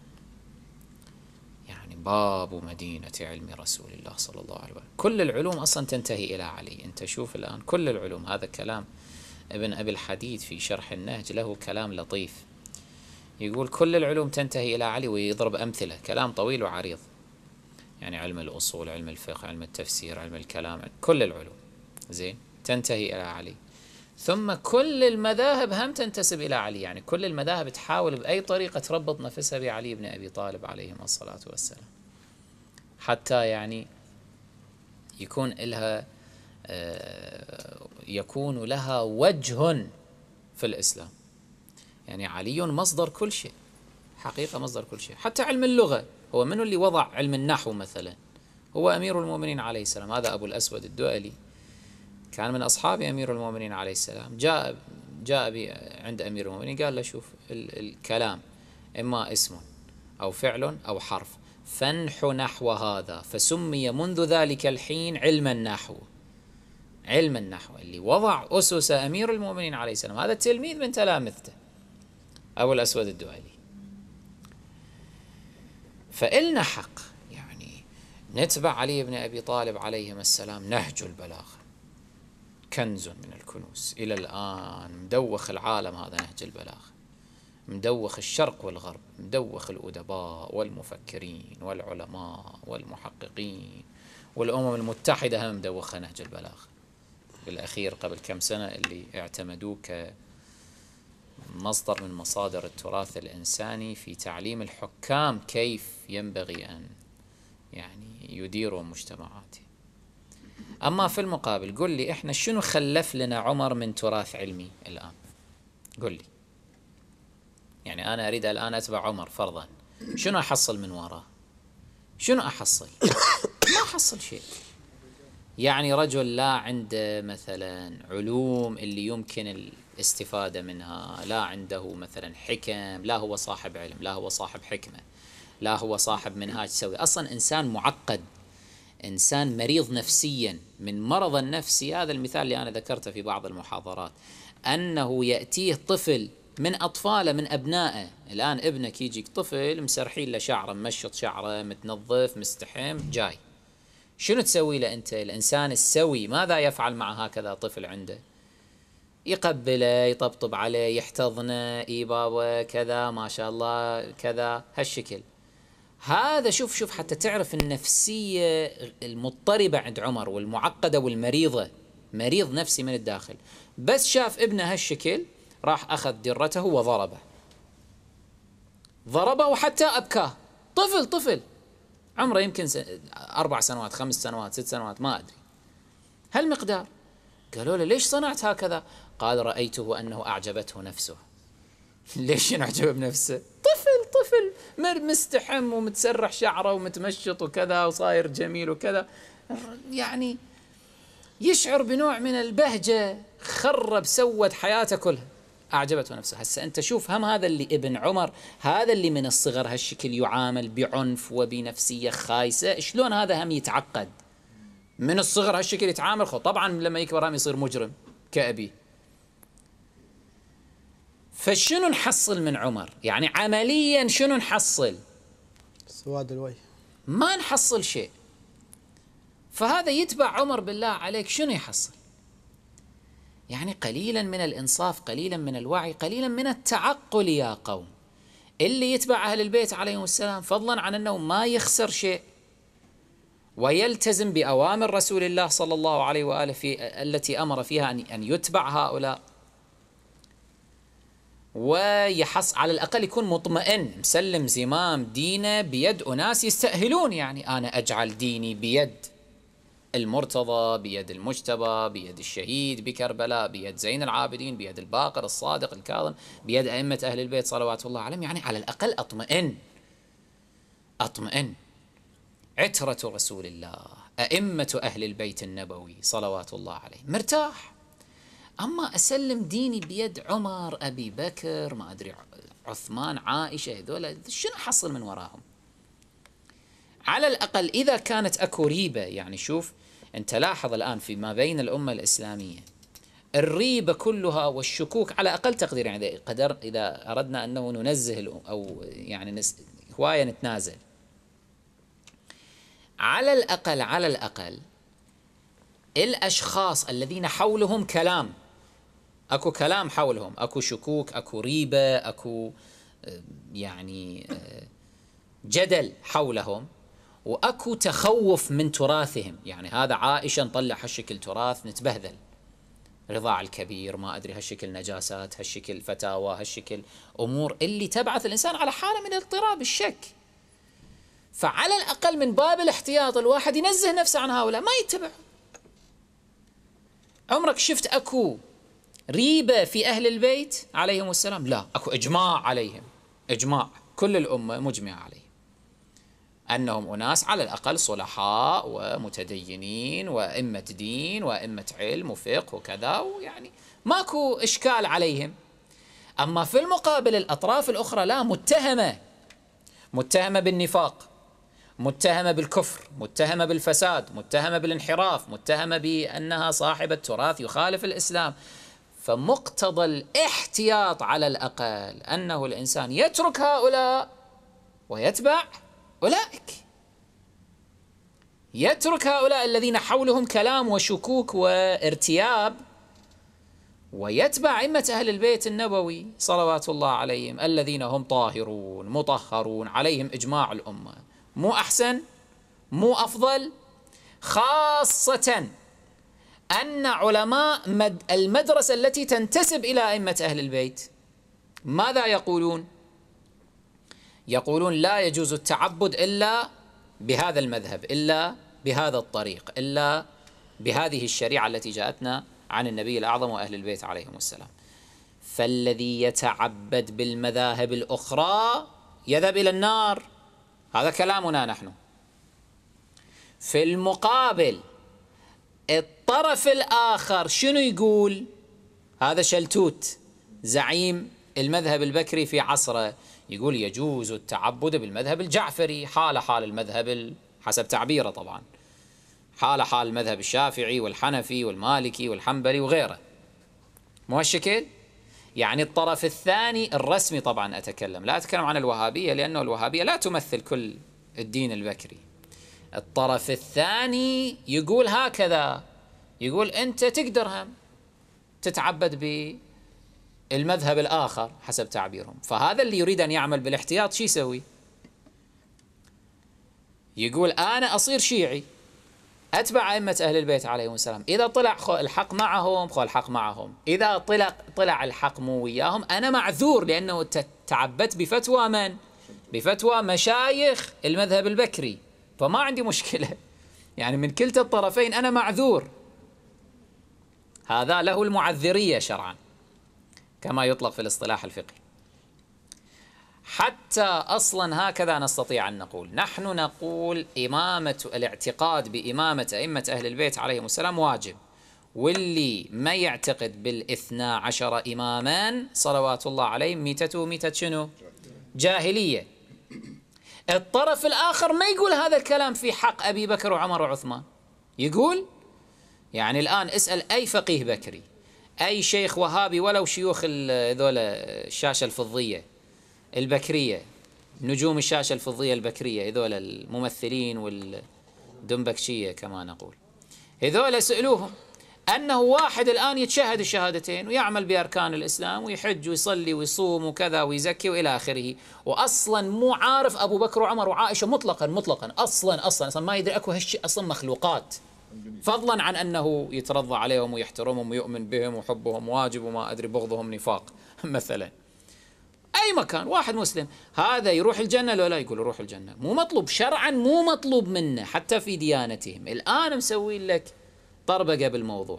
لا يا أخي شرعا حسب أصولهم مو واجب عليك أنه تؤمن. أبو بكر صديق عائشة ما أدري أم المؤمنين المبرأة من فوق سبع سماوات عمر ما أدري فاروق. فلان ما أدري كذا مو مطلوب منك. لا من أصول الدين لا من فروع الدين. مو مطلوب. دع عنك الغلاة الآن في الفترة الأخيرة. طالعين هذا ردة فعل علينا. هذا تركة. أصول أصول المذهب عندهم. هذا مو مطلوب. في المقابل ذاك الطرف يقول مطلوب. غصبا عليك. لازم. تؤمن بإمامة أهل البيت عليهم السلام والبراءة من أعدائهم. فهذا الذي يريد أن يعمل بالاحتياط. المفروض يروح إلى الطرف الآخر. لأنه إذا طلع الحق وياه خو مضمون. إذا طلع الحق مو وياه فهو معذور لأنه أقصى ما هنالك أنه اجتهد فأخطأ. خلص معذور بعد أمام الله تعالى. يعني عينا مثل ما نحن نقول الإسلام وغير الإسلام. إحنا نقول ومن, ومن ابتغى غير الإسلام دينا فلن يقبل منه. خلص فإذا الواحد ما آمن بالإسلام يروح للنار. زين الأطراف الأخرى بعض الأديان الأخرى عندها نظرية أن كل الطرق توصل إلى الله. وهاي النظرية كان يتبناها جورج بوش الإبن صرح تصريح هكذا. قال أنه كل الطرق توصل كل الأديان توصل إلى الله خلاص محلولة القضية. فإذا واحد لازم يصير مسلم. الملحد هم هكذا يقول الملحد يقول في كل الأحوال هذا الذي يلتزم بالدين الإسلامي مثلا هذا ما يتضرر بشيء. يعني ماكو وراء هذه الدنيا شنو؟ بعث ونشور وحساب وإلى آخره وجنة ونار. ما يقول. فاللي يريد حتى لو يعمل اللي يريد الاحتياط يقول أنا أصير مسلم كافي. لأنه ما خسرت شيء أنا في كل الأحوال.